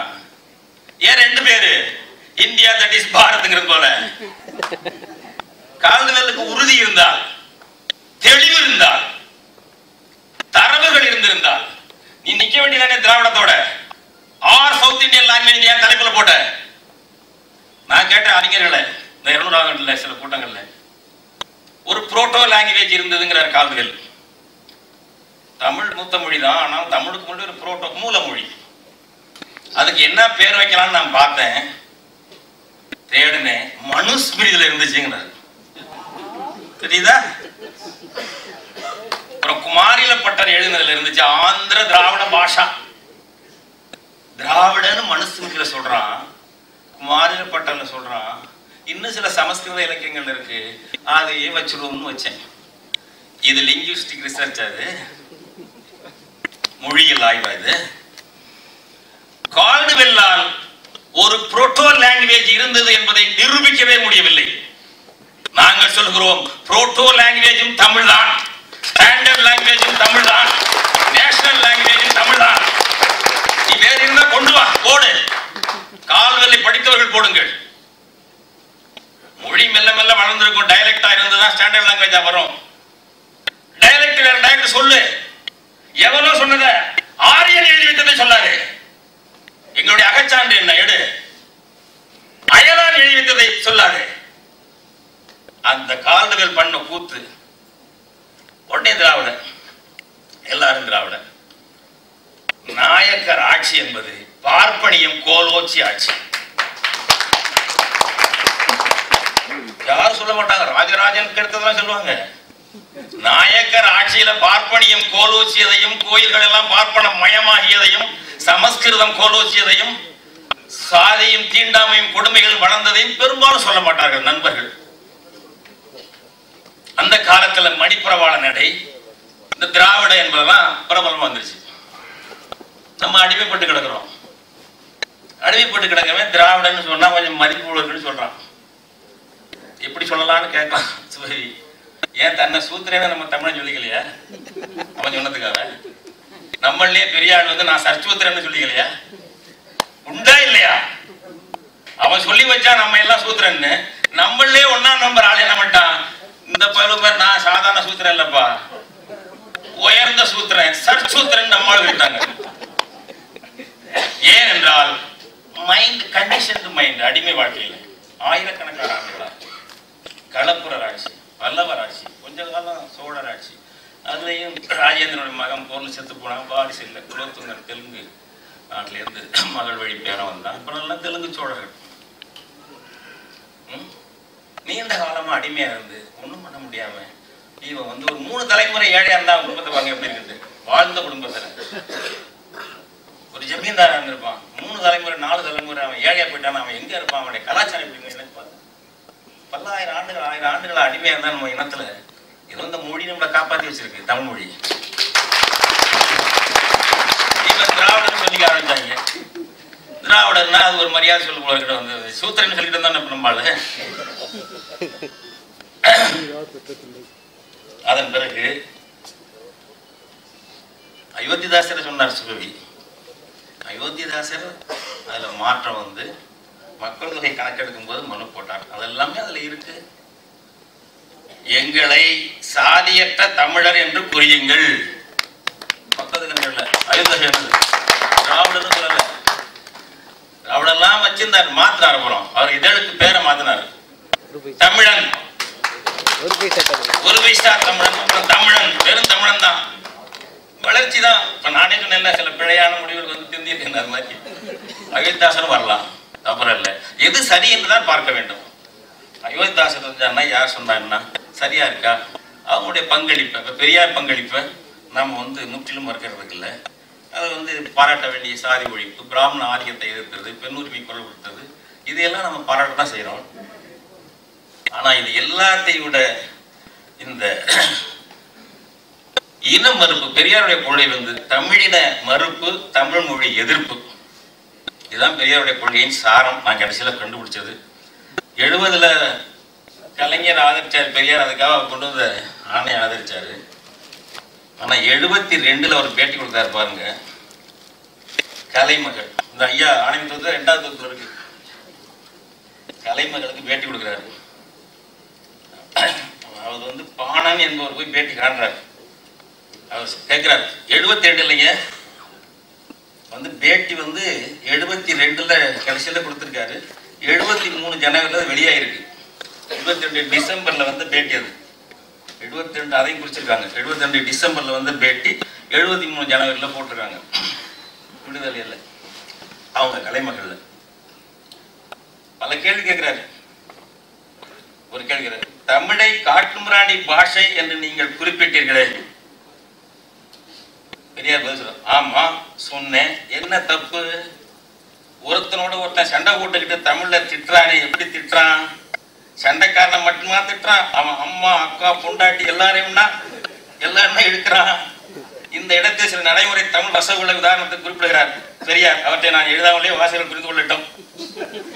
அதே மாதிரி சண்டை வந்து இங்கிலீஷ்ல திட்டினா ஃபூல்னு திட்டலாம் இடியட்ல திட்டலாம் தமிழ்ல திட்டுற மாதிரி அவ்வளவு கேவலமா திட்டது உண்டா? ஏன் பாஸ்டர்னு திட்டுறது இல்லையா? எவ்வளவோ மோசமான சொற்கள்லாம் இங்கிலீஷ் இருக்கு. இது எழுபத்தி ரெண்டுல டிசம்பர்ல கொடுத்ததுங்க எழுபத்தி மூணு ஜனவரில அவங்க வெளியிடுறாங்க கலைமகள்ல. ஐயா அவர்கள் டிசம்பர்ல இறந்துடுறாரு. அறுபத்தொன்பது அறுபத்தொன்பதுல பெரியார் சொல்றது. இதெல்லாம் என்ன? சாதாரணமான விஷயங்கள் அதெல்லாம். தமிழை பற்றி சொல்றது. தமிழ் நாங்கள் வளர்த்த வளர்த்தங்கிறாரு. எனது இந்தி எதிர்ப்பு என்பது இந்தி கூடாது என்பதற்கோ தமிழ் வேண்டும் என்பதற்கோ அல்ல.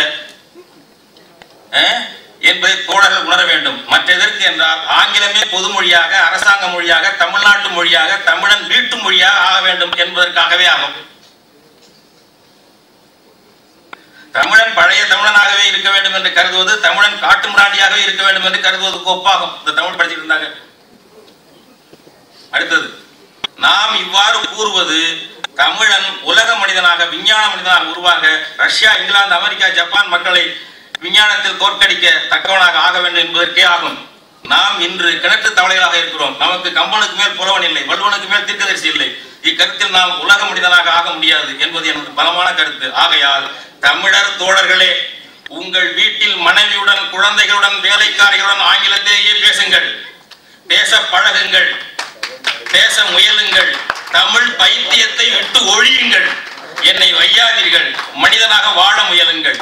விடுதலை அறிக்கை இருபத்தி ஏழு ஒண்ணு ஆயிரத்தி தொள்ளாயிரத்தி அறுபத்தி ஒன்பது திராவிடம் தமிழ் வளர்த்தது. அது எப்படி கலைஞர் ஒரு ஜீவோ போடுறாரு கருணாநிதி காமராஜ் எதுக்குறாரு அப்ப மட்டும் மாத்திக்கிறாரு? இவர் ஒரு ஐடியாலஜிஸ்டா என் கேள்வி இதுதான். இது ஒரு இவர் பெரியார் ஒரு சித்தாந்தியா? ஒன்லி ஒன்லி அதாவது எதிர்வினை ஆற்றக்கூடியவர் ஒன்னொன்னுக்கு எதிர்வினை ஆற்றுவார் அதுவும் அவருடைய அரசியலுக்கு ஏற்ப. ஆச்சாரியார் முதல்வராக வரும்போது முதல் முதல் வரவேற்று வந்ததெல்லாம் இதுல இருக்கு. ராஜகோலாச்சாரியர் முழுக்க முழுக்க வரவேற்று முதலமைச்சர் நீங்க தான் இருக்க வேண்டும் என்று சொல்லி பாராட்டி எழுதியது இதெல்லாம் இருக்கு இதில் இருக்கு. அப்புறம் காமராஜ் திமுகவை ஒழிக்க வேண்டும் என்பதற்காகவே என்னென்னவோ எழுதினார் பேசினார். கடைசி வரலாம் பார்ப்பன தோழர்களுக்குன்னு ஒரு கட்டு கட்டுரை இருக்குங்க. ராஜாஜி பேச்ச கேட்டுக்கிட்டு கண்ணீர் துளிகளுக்கு ஓட்டு போட்டுறாதீங்க. அறுபத்தி ஆறுல எழுதுறாரு.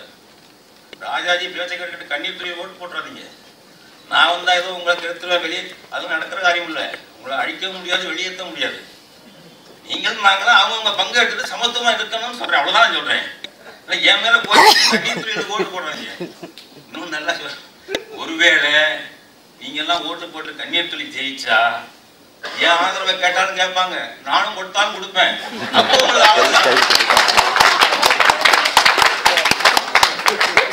பார்ப்பன தோழர்களுக்கு நான் எடுத்து காட்டுறேன் எடுத்து காட்டுறேன் எல்லாருக்கும் நான் கஷ்டப்படுத்துறேன் மூணு தொகுப்புல இருக்கு. பெரியார் எழுதுனது. இது ஒரு ஒரு ஒரு சித்தாந்தம் கிடையாது அவருக்கு. சித்தாந்தம் போல ஒன்ன போலியான ஒரு சூடம். ஒரு சூடோ ஐடியாலஜி திராவிடம் என்பது. அதுக்கு ஒரு கன்சிஸ்டன்சி கிடையாது. அதுக்கு கருதுகோள்கள் கிடையாது அதுக்கு தரவுகள் கிடையாது அதுக்கு வளர்ச்சி கிடையாது. எனவேதான் பெரியாரிசம் என்பது தமிழ்நாட்டை தாண்டி வளரவில்லை. நான் காந்தியத்தை மறுக்கக்கூடியவன். சில நல்ல கலைகள்லாம் இயற்கை வளமை எல்லாம் ஏற்றுக்கலாம் தண்ணீரை சில ஏற்றுக்கலாம் சாரத்துல காந்திய மறுப்பாளர் தான். ஆனா காந்தியம் எல்லை தாண்டி வளர்ந்திருக்கிறது. அது ஒரு ஐடியாலஜியா சொல்லப்படுகிறது. மார்க்சியம் எல்லை தாண்டி நாடு கடந்து வளர்ந்திருக்கிறது. ஏன் பெரியாரிசம் வளரவில்லை? ஏனென்றால் உருவாக்கிய வரை அதை ஒரு சித்தாந்தமாக உருவாக்கவில்லை. எதிர்வினையாக உருவாக்கி அப்பொழுது அப்பொழுது மாற்றி மாற்றி சொல்லி முடித்து விட்டார். இந்த திராவிடத்தை ஏன் இன்னும் நாம் கட்டிக் கொண்டிருக்க வேண்டும் முடிஞ்சது முடியட்டும் முடிஞ்சது முடியட்டும். சம்பத்து பேசும்போது பிரியும்போது சொன்னார் சம்பத்து. அப்படியா சிந்திங்க. நான் தமிழ் தேசிய கட்சின்னு வச்சிருக்கேன் ஏதோ திராவிடத்தை விட்டு போயிட்டேன்னு சொல்றாங்க என்ன? திமுக சொல்லுது. திமுக நம்ம என்னதான் பேசணும்? சேரனுடைய பெருமை சோழனுடைய பெருமையை பாண்டியம் பெருமையை பேசணுமே தவிர கிருஷ்ணதாவ கிருஷ்ணதேவராய பெருமையா பேசணும்? சம்பத்து. நம்ம திராவிடம் என்று சொல்லி கூட திமுக குறித்து அப்படிதான் பேசுறாங்க. அருள் மாற்று இல்ல. தமிழ் இனக்கத்தை தான் பேசுனாங்க. சங்க பெருமையை பேசுனாங்க. பெரியார் மாதிரி இல்லை. ஆனா இவங்க எல்லாம் ஒண்ணு ஒன்றும்பாங்க அது எப்படியும் தெரியல.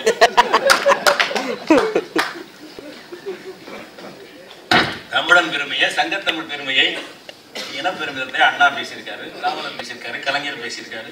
அப்புறம் பெரியார் நாங்களும் ஒண்ணுதான் பாங்க அது எப்படின்னு தெரியல. எனவே இந்த சுண்டு சீட்டு வந்திருக்கு. நான் அடுத்தாப்படியே பேசுறேன். கொஞ்சம் சில பதில்கள் சொல்லணும். இதெல்லாம் ஒருங்கு திரட்டி ஒரு சித்தாந்தமாக ஒரு கோட்பாடாக தமிழ் தேசியம் இது மட்டும் ஒரே ஒரு மன்னிக்கணும் என்ன சொல்லல தமிழ் தேசியம் என்றால் என்ன? தமிழ் தேசியம் என்றால் நாங்கள் வரையறை வச்சிருக்கிறோம். எனது தேசிய இனம் தமிழர். நான் இந்தியனோ திராவிடனோ இல்லை. எனது தேசிய மொழி தமிழ். எனக்கு ஆங்கிலமோ ஹிந்தியோ தேசிய மொழி கிடையாது. எனது தேசம் தமிழ் தேசம். இந்தியா எனது தேசம் இல்லை. இறையாண்மை உள்ள தமிழ் தேச குடியரசு அமைப்பது எனது இலக்கு. இந்த நாளும் இருந்தால்தான் தமிழ் தேசியம். இந்த நாள் இல்லாம தமிழின பெருமை பெருமை பேசிக்கிட்டு இருந்தா தமிழ் தேசியம் கிடையாது. யாராவது பேசிக்கிட்டா அதை வச்சுட்டு மறுக்க வேண்டாம். இந்த நாள் நாங்கள் முன்வைக்கிறோம். இது ஒரு ஐடியாலஜி மனித சமத்துவத்துக்கு ஜாதி ஒழிப்புக்கு தமிழர் அறத்தை அடித்தளமாக வைக்கிறோம். மார்க்சியம் பெரியாரியம் அம்பேத்கரிசம் எல்லாவற்றிலிருந்து கற்றுக்கொள்ள விரும்புகிறோம். அவருடைய பங்களிப்பதில் இருக்கிறது. ஆனால் நாங்கள் யாரும் ஊரே யாவருங்கள் பிறப்போக்கும் எல்லா உயரும் என்று சொன்ன அந்த தமிழர் அறத்தில் இருந்து சமத்துவ சமூகத்தை சாதி நீங்கிய சாதி ஒழிந்த சமத்துவ சமூகம் பொருளாதார சுரண்டல் இல்லாத சமத்துவ சமூகம் ஒரு நிகரமை நோக்கிலான ஒரு தமிழ் தேச குடியரசை உருவாக்க வேண்டும் என்ற லட்சியத்தோடு செயல்படுகிறோம். இதுதான் தமிழ் தேசியம் என்று சொல்லி விடைபெறுகிறேன். நன்றி. இப்பொழுது பத்து நிமிடங்கள் கடைசி போர். இரண்டு பேரும் உரையாடுவார்கள் உரையாடுவார்கள். அதற்கு முன்னால்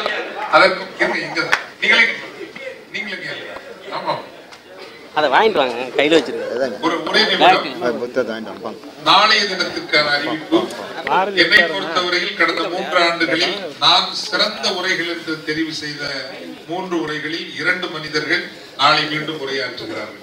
காடுரை உலகம் என்று தமிழக சூழலியலின் முதன்மை பிதாமகர்களில் ஒருவராக இருக்கக்கூடிய ஓசை காளிதாஸ். முதல் ஆண்டில் மணிநீரும் மணிநர் காடும் என்ற தலைப்பில் அவர் பேசிய உரை இதுவரையான உரைகளில் ஒரு உயர்ந்த உரை. அவர் மீண்டும் பேசுகிறார் நாளை காடுரை உலகம் என்று பேசுகிறார். அதே போல கடல் வளர்த்த தமிழ் என்று ஒரிசா பாபு பேசுகிறார். நிறைவாக ஓங்கு பெறும் சென்னல் ஊடு கயல்கள் என்கின்ற தலைப்பில் ரேவதி அஹ், தமிழர்களினுடைய பாரம்பரிய பழைய விவசாய முறைகளை பேசுகிறார். இன்று போல் நாளையும் வாருங்கள். இன்று உங்கள் உங்கள் ஆம், பேசியதால் வந்திருக்கிறவர்கள் கூட நாளை நீங்கள் வரலாம். சங்கம் நான்கை சிறப்பியுங்கள் என்று வேண்டிக் கொண்டு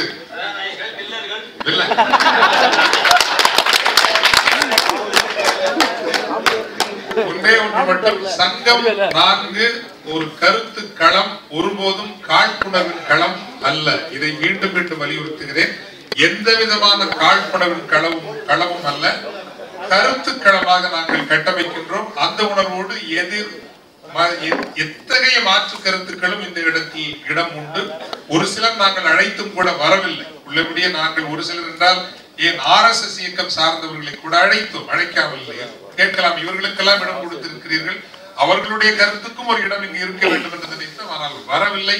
அதுதானே தவிர எல்லா கருத்துக்களும் இந்த அரங்கில் ஏற வேண்டும். இது ஒரு திறந்த வெளி. எல்லா கருத்துக்களும் பரிமாறப்படலாம். எது சரியோ எது பிழையோ அதை கேட்கிறவர்கள் தீர்மானித்துக் கொள்ளட்டும். ஆனால் ஒன்று மட்டும் இருக்கக்கூடாது. வெறுப்பும் காழ்ப்புணர்வும் அவமரியாதை செய்தலும் இருக்கக்கூடாது என்கின்ற நெறியை மட்டும் பேணுகின்றோம். இதை ஏற்றல்வீராக நிறைவாக நம்முடைய அன்பிற்குரிய சுபவி அவர்கள். மீண்டும் என் வணக்கம். ஒரே ஒரு வேண்டுகோள். ஒன்பதரைக்கு எல்லோரையும் நாம் வீட்டுக்கு அனுப்பிவிட வேண்டும் என்கின்ற உணர்வோடு எல்லாம் பேசும்படி நாங்கள் உங்களை என்றைக்கும் வில்லன்களாக பார்ப்பதில்லை என்றைக்கும் நீங்கள் தோழர்கள். ஒரே அமர்வில் நாம் எல்லாவற்றையும் பேசி முடித்து விட முடியாது. எனக்கு பிறகு தோழர் பேசினாலும் நான் விடை சொல்ல வேண்டிய செய்திகள் இருந்தாலும் நான் சொல்லப் போவதில்லை. இந்த அரங்கத்தை என் பேச்சு இதோடு நிறைவடையும். மிக குறிப்பாக சில செய்தி இங்கே இருந்து ஐயப்பன் கோயிலுக்கு போனவர்களை மலையாளிகள் அடிக்கிறார்கள். தமிழ் தேசியம் வருத்தப்பட்டது. ஏன் அவர்கள் அங்கே போய் தொலைகிறார்கள்?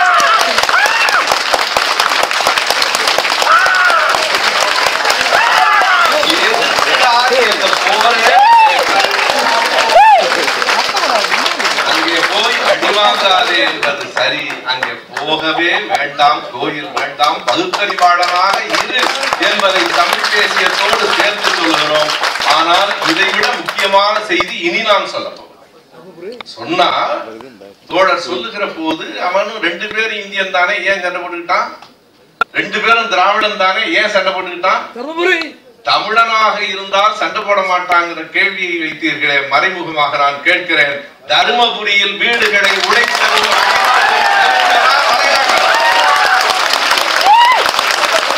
தருமபுரியில் சண்டை யாருக்கு இடையில் நடந்தது தமிழருக்கும் தமிழருக்குமா தெலுங்கருக்கும் தமிழருக்கா மலையாளிக்கும் தமிழருக்குமா ஒன்று தயவு செய்து அன்பாக நான் கேள்விகளை வைக்கிறேன் காலுக்கு செருப்பு போடுங்கள் காட்டுக்கு போடாதீர்கள். ரொம்ப அழகான உவமை நான் ரசிச்சேன். ரொம்ப ரசிச்சேன்.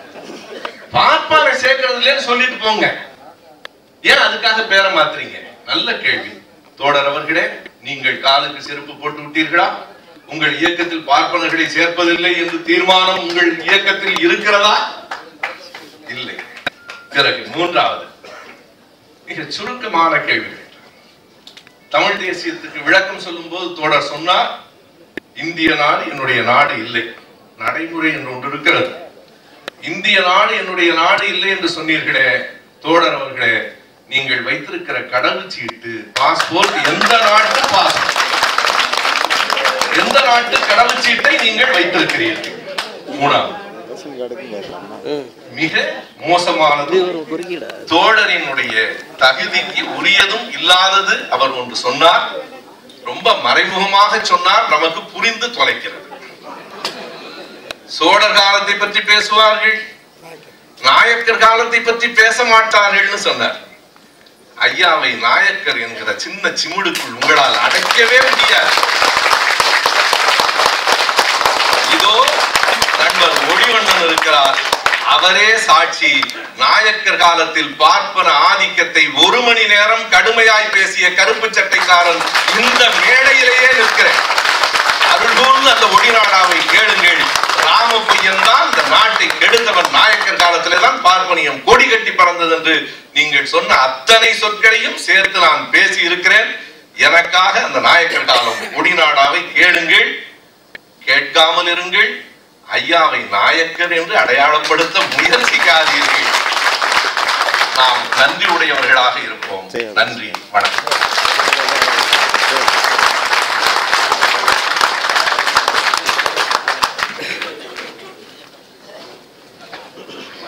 மன்னிக்க வேண்டும் ஒரே ஒரு சின்ன செய்தி இல்ல மன்னிக்கணும்.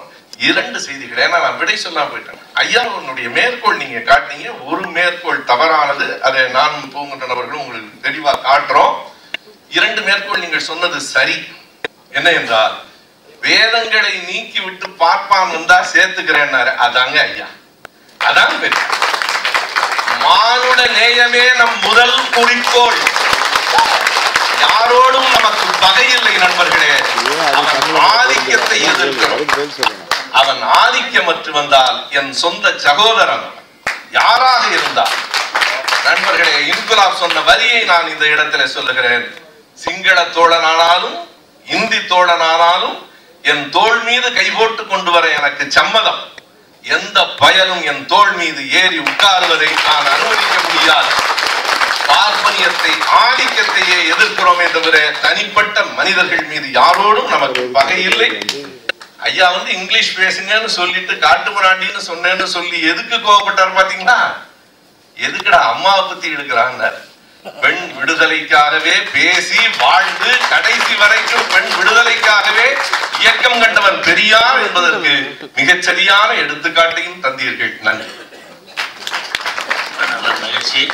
கையில ஒரு மைக் இருக்கு. பார்ப்பனர் வந்து ஆச்சார அனுஷ்டானத்தை சேர்த்து சேர்த்துக்குவோம். அது பெரிய பெரிய மனிதநேயம். பேதமின்றி மனிதநேயம். மணியரசன் சேர்த்துக் கொண்டால் அது என்ன? திருவினைவாதமா நான் கேட்கிறேன் நான் கேட்கிறேன். பெரியார் சேர்த்துக் கொண்டால் பார்ப்பனா பார்ப்பானை. உறுப்பினரா சேர்த்துக்கிட்டா அவன் பேதத்தெல்லாம் நீக்கி பார்ப்பனியத்தை விட்டுட்டு பூணூல் அறுத்து வந்தா சேர்த்துக்கலாம். அது மனித நேயம் பூணூலை அறுத்து இருந்து விட்டு நகரசு துப்புரவு தொழிலாளி வீட்டுல மாட்டுக்கறி பன்றிக்கறி சாப்பிட்டு விட்டு ஒரு மார்க்சியவாதியாக ஒரு தமிழ் தேசிய புரட்சியாளனாக பார்ப்பன வகுப்பிலிருந்து கலந்து கொண்டு வந்தார் ஏற்பேன்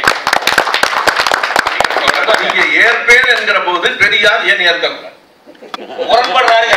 ஏன்னா பாப்பா வந்துருவாங்கிறதுக்காக உலகத்திலே பெரிய இனத்து பேரையே மாத்தீங்களே பாப்பானுக்காக எலிக்கு பயந்து வீட்டையே கோவிக்கிறது மாதிரி பாப்பானுக்கு பயந்து நம்ம இனத்தையே மறைச்சிட்டீங்களே அதுக்கு கேட்கிறேன் முரண்பாடுன்னு சொல்ல வந்தேன் வேற ஒண்ணும் இல்ல இது பெ- மட்டுமல்ல தோழர்களே ஆயிரத்தி தொள்ளாயிரத்தி ஐம்பத்தி ஆறுக்கு முன் தமிழ்நாட்டில் குடிமக்களாக உள்ள அனைவரும் சமத்துவ உரிமை உள்ள தமிழ் மக்கள் என்பது என்னுடைய கருத்து. நான் தமிழ்நாட்டில் பிறமொழியினர் என்று தலைப்பில் எழுதியிருக்கிறேன். தெலுங்கு பேசினாலும் சரி அவங்க ஐம்பத்தி ஆறுக்கு முன்னாடி மொழி வழி மாநிலம் அமைக்கிறது முன்னாடி உருது பேசினாலும் இருங்க கன்னடம் பேசினாலும் சரி உருது பேசினாலும் சரி சௌராஷ்டிரம் பேனாலும் சரி ஐம்பத்தாறுக்கு முன்னாடி வந்து இந்த நாட்டு குடிமக்களா யார் இருக்காங்களோ அவங்க எல்லாம் சம உரிமை உள்ள தமிழ் மக்கள் தான் தமிழ்நாட்டு மக்கள் தான் தமிழ் தேசிய மக்கள் தான் அதுக்கு பிறகு வந்தவர்களை வெளியார் என்கிறோம். வெளியாருக்கு வாக்காளர் அட்டை கொடுக்க கூடாது குடும்ப அட்டை கொடுக்க கூடாது என்று வெளியாருக்கு சொல்றோம். எவ்வளவு தேவையோ அவ்வளவுதான் அனுமதிக்க வேண்டுமே தவிர இஷ்டத்துக்கு வரக்கூடாது என்று சொல்லி வச்சிருக்கோம். எனவே அதனால அது வந்து இப்போ முரண்பாடு இப்போ சுபவிக்கு எனக்கு முரண்பாடு இல்லை பார்ப்பனர் உறுப்பினர் சேர்க்கறதுல ஐயப்பன் கோயிலுக்கு ஏன் போனேன் எப்படிப்பட்ட விடைபாடு? இதுதான் திராவிடம். ஈழத்துல வந்து சிவன் கோயில் இடிக்கிறான் பிள்ளையார் கோயில் அடிக்கிறான் சுகவி என்ன சொல்றாருன்னா ஏன் நீ கோயில் கட்டுற? அடிக்கிறான் ஒரு லாஜிக் லாஜிக் நீ ஏன் கோயிலுக்கு போற? ஐயப்பன் கோயிலுக்கு போனவன் மட்டுமல்ல. தேனி மாவட்டத்து நானூறு தமிழ் பெண்கள் என்ன செய்தார்கள்? ஐயப்பன் கோயிலுக்கு போன தமிழனையும் பாதுகாக்க வேண்டிய பொறுப்பு நமக்கு இல்லையா எல்லாரும் வந்து பக்திமான் பக்தி நாட்டில் ஆயிட்டாங்க அப்படின்னா தமிழ்நாட்டில் உள்ள பக்தி உள்ள மக்களுக்கு நீங்கள் பாதுகாவலர் இல்லை என்பதை அறிவித்துக் கொள்கிறீர்கள். தண்ணி சொல்லுங்க தண்ணி கொடுங்க. அடுத்து தர்மபுரி. உமாமகேஸ்வரனும் பிரபாகரனும் பாண்டி பஜாரை அடிச்சுக்கிட்டாங்க. சிங்களம் கேட்கிறேன் நீங்களே அடிச்சுக்கிட்டீங்க எங்க நாடு நாடு கேக்குறீங்க?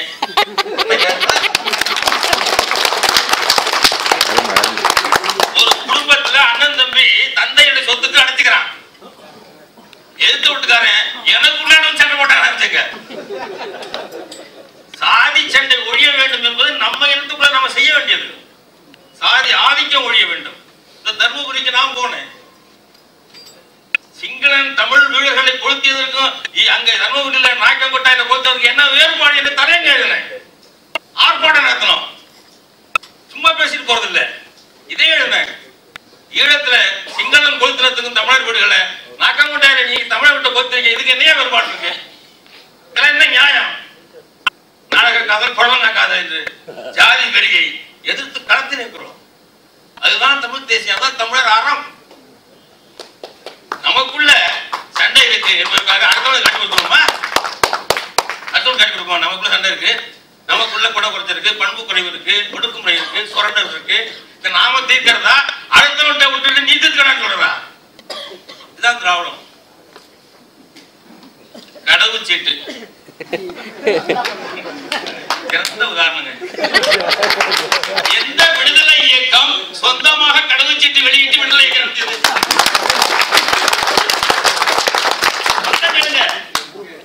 எந்த விடுதலை ஈழத்துல கூட கிடையாது. ஈழத்துல கூட கிடையாது. பாலசிங்கத்துக்கு உடம்பு இல்லாத போது அந்த சீட்டை தான் வந்து வந்தாங்க. இலங்கை சீட்டில் வந்தாங்க. அந்த ரூபாய் தான் வச்சிருந்தாங்க? எந்த விடுதலை இயக்கம்? விடுதலை இயக்கம் உள்ளே இருந்தா போராடலாம் ஒண்ணு இல்லை. நீ ஆக்கிரமிச்சிருக்கிற. எனக்கான வெளிநாடு போற உரிமை நீ வச்சிருக்க நீ தான் கொடுக்கணும். இந்தியா தமிழ்நாட்டை ஆக்கிரமிச்சிருக்கு. நான் வெளிநாடு போறேன் அவன் தான் கொடுக்கணும். விடுதலை இயக்கம் உலகத்துல எந்த விடுதலை இயக்கம்? சொந்த ரூபா நாணயத்தை அடிச்சு பார்ப்போம். அதை அர்த்தம் கேட்பாரு ரூபாய் ஒரு பை வச்சிருக்கியா? யார் காசு விடுதலை இயக்கம் இந்தியா விடுதலை இயக்கம் வாழ்றது. உலகத்துல பேர் விடுதலை இயக்கம் நடந்திருக்கு. கற்பனை, ஏன்னா விடுதலை இயக்கம் பேச்சுல பேசுவாங்க தவிர நடைமுறையில இல்லைங்க. சமூகத்துல பேச்சுதானே விடுதலை.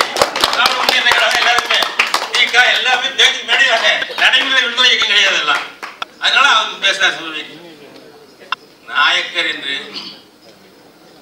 ஒரு காலத்திலேயும் பெரியார் நாயக்கர் தானே சொல்ல மாட்டேன் அந்த ஐம்பத்தாறு கூட எல்லாரும் தமிழ் மக்கள் தானே? சில பேர் தமிழ் தேசிய பேச்சு சொல்லிட்டு இருப்பாங்க. நாங்களாம் கிடையாது. பெரியாருடைய கொள்கைகளை தானே சொல்றேனே தவிர அவர் பிறந்த ஜாதி அவர் கன்னடம் தாய்மொழி அதெல்லாம் எனக்கு பிரச்சனை இல்லை. அந்த விஷயம்லாம் கிடையாது. நான் பேச மாட்டேன். அதெல்லாம். யாரையும் நான் திமுக பேச்சாளர்கள். நான் கேட்கிறேன் திராவிட கழக பேச்சாளர்கள் மேடைகள்ல. சோழ பேரரச சொல்லியிருந்த அளவுக்கு பாதி இருபத்தஞ்சு சதவீதம் கூட ஒரு ஆய்வாளர் சொல்றாரு. காந்தி பெரியார் உரையாடின போது கோபாலகிருஷ்ண பாரதி இல்லையா? உள்ளூர் வருத்தஞ்சிட்டு சுத்தமாக பார்ப்பனி எதிர்ப்பு இருக்காரு. மகாத்மாவையோ உங்களுக்கே ஒரு கோபாலகிருஷ்ண பாரதி தான் தெரியுதுன்னா. பார்ப்பன எனக்கு எப்படி தெரியுங்க யாரோ ஒரு ஆய்வாளர் தோழர் நண்பரை சொல்றாரு. தண்ணி தண்ணி கொடுங்க. பெரும்பாலான பெரும்பாலான சொல்றது இல்லை அதுக்காக சொல்ல வரேன் வேற ஒண்ணும் இல்லை. சரி ஒரு பல்லவனுடைய நரசிம்ம பல்லவனுடைய வரலாற்றை படம் எடுக்கிறீங்க. தெலுங்கு பேசின பல்லவ அரசர் தான். காஞ்சி தலைவன் எடுக்கிறீங்க. அதை பத்தி விமர்சனம் நினைக்கிறது உண்டா? தேவராணம் இறையில் நிலம். அதிகமாக கொடுக்க தொடங்கியது பல்லவராட்சி. சோழனும் கொடுத்தான்.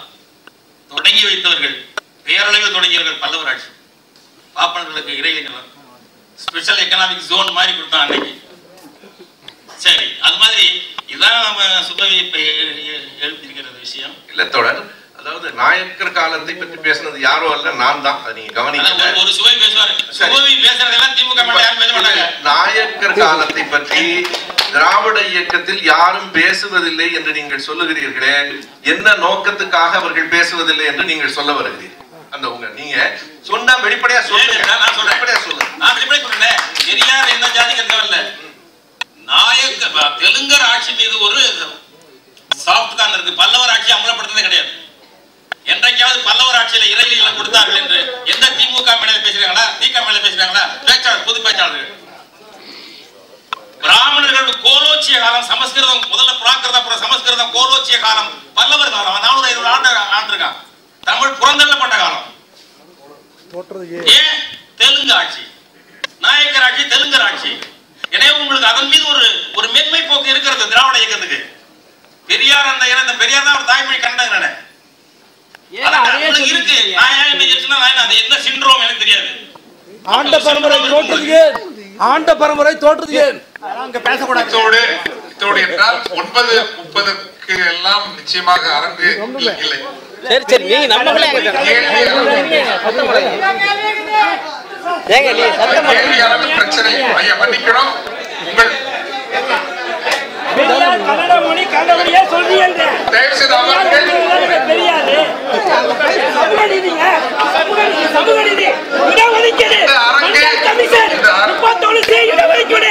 சமூக நீதி சமூக நீதி தமிழ் உண்மையான தமிழ் உண்மையான தமிழ் தேசியத்தினுடைய உண்மையான தமிழ் தேசியத்தினுடைய சாரத்தை இந்த நிகழ்வை நடத்தக்கூடிய தமிழர் தொழில் வர்த்தக பெருமன்றம் நாம் மற்றும் தமிழ் மையம் அமைப்புகள் வரையறுத்து வரையறுத்து இதை போற்றுவோம்.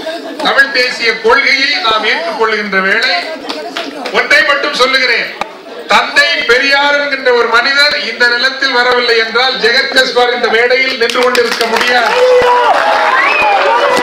அதே வேளையில் அதே வேளை அதே வேளை என் மொழி தமிழ் என்கின்ற அடையாளம் இல்லை என்றால் ஜெகத் கஸ்பார் என்கின்ற நானே இல்லை. இதுதான் உண்மை.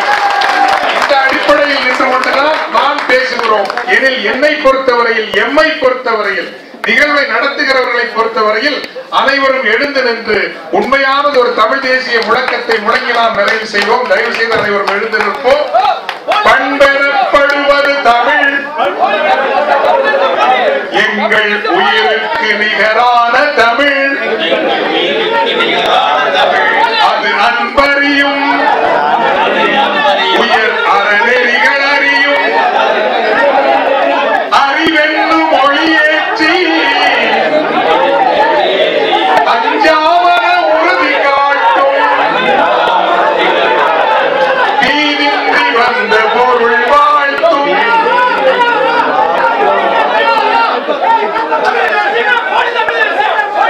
தோழர்களே ஒரே ஒரு நிமிடம் ஒரு நிமிடம் அது தயவு செய்து கேளுங்க ஒரு செய்தியை கேளுங்க. தயவு செய்து பேசுவதை கேளுங்க. அதாவது தோழர் கதிப்பூமுருகன் அவர்கள் கேள்வி கேட்கிறேன்னு சொல்லியே இல்லைன்னதுக்கு அப்புறம் அவர் ஒத்துருக்கிறார் ஒரு செய்தி அவர் ஒரு செய்தியை கேளுங்க. ஒரு ஏற்பாட்டை இனிமேல் நாம ஏன் செய்தோம் எண்ணம் உங்களுக்கு வந்துடக்கூடாது.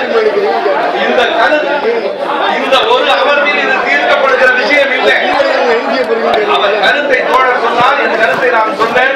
நாங்கள் இருவரும் என்றைக்கும் தோழர்களாக இருக்கிறோம் எங்களுக்குள்ள எந்த தனிப்பட்ட பகையும் இல்லை. என்றைக்கும் தோழர் முன்னோடி மனிதர் அருள் இந்த அரங்கில் நாம் விவாதத்தை முடிப்போம். பல அரங்குகளில் தயவு செய்து நல்லோர்கள் இங்கு அமரவும் தயவு அமரவும். ஒரு சில ஒரு சில முழக்கங்கள் இந்த மகத்தான அமர்வை நாம் குறைபடுத்தி விடக்கூடாது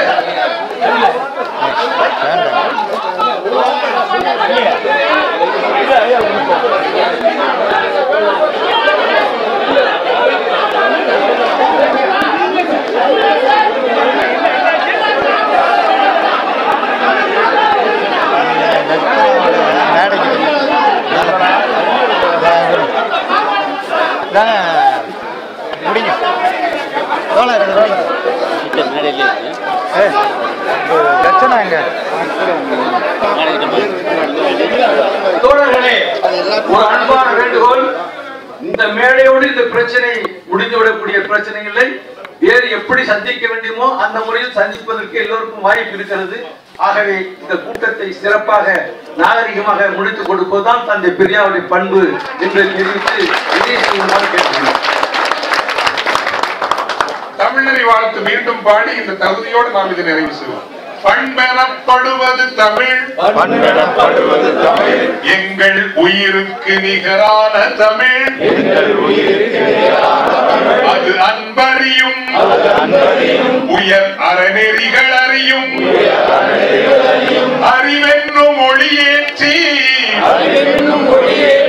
அஞ்சாமல உறுதி காட்டும். அஞ்சாமன உறுதி காட்டும். தீதின்றி வந்த பொருள் வாழ்த்தும். தீதின்றி வந்த பொருள் வாழ்த்தும். நம் உடலே உயிர் கோயில். நம் உடலே உயிர் கோயில். நல் உணவே அருமருந்து. நல் உணவே அருமருந்து. இயற்கையே இறை. இயற்கையே இறை. இதய தூய்மையே நிறை. இதய தூய்மையே நிறை. ஈதலும். ஈதலும். இணக்கமாய் வாழ்தலும். இணக்கமாய் வாழ்தலும். இன்னுயிர் காத்தலும். இன்னுயிர் காத்தலும். இடையராது உழைத்தலும். இடையராது உழைத்தலும். இன்புற்று கழித்தலும். இன்புற்று கழித்தலும். யாவர்க்கும் பொது நெறி என்று போற்றும். யாவரும் பொது நெறி என்று போற்றும். ஆதலால் ஆதலால். உலகெல்லாம் தமிழ் நெறி ஓங்குக. உலகெல்லாம் தமிழ் நெறி ஓங்குக. உலகெல்லாம் தமிழ் நெறி ஓங்குக. உலகெல்லாம் தமிழ் நெறி ஓங்குக. நெறி ஓங்குக. உலகெல்லாம் தமிழ் நெறி ஓங்குக. நன்றி. நல்லுணர்வோடும் மனநிறைவோடும் மகிழ்ச்சியோடும் தான் இந்த நாளின் சங்கம் நான்கு நிறைவுறுகிறது. ஏனென்றால் இங்கே இருக்கிற நாம் எல்லோரும் அந்த உணர்வுகளை பகிர்ந்து கொண்டு செல்கிறோம். சிலர் தங்களுடைய உணர்வுகளை வெளிப்படுத்தி இருக்கலாம். அது அவர்களுடைய அந்த வெளிப்பாடு. அதையும் நாம் ஏற்றுக்கொள்கின்றோம். அதை இந்த அவைக்கு நேர்ந்த அவமரியாதையாக நாம் நினைக்கவில்லை. தங்கள் உணர்வுகளை வெளிப்படுத்துகிறார்கள். எந்த அளவில் மட்டும் ஏற்றுக்கொள்கின்றோம். ஆனால் இதைவிட சிறப்பாக தங்கள் உணர்வை வெளிப்படுத்தினால் தமிழர்களுக்கும் இந்த அவைக்கும் பண்பு தகைமையாக இருந்திருக்கும். கரவொலியோடு இந்த இந்த அரங்கை நிறைவு செய்கின்றோம்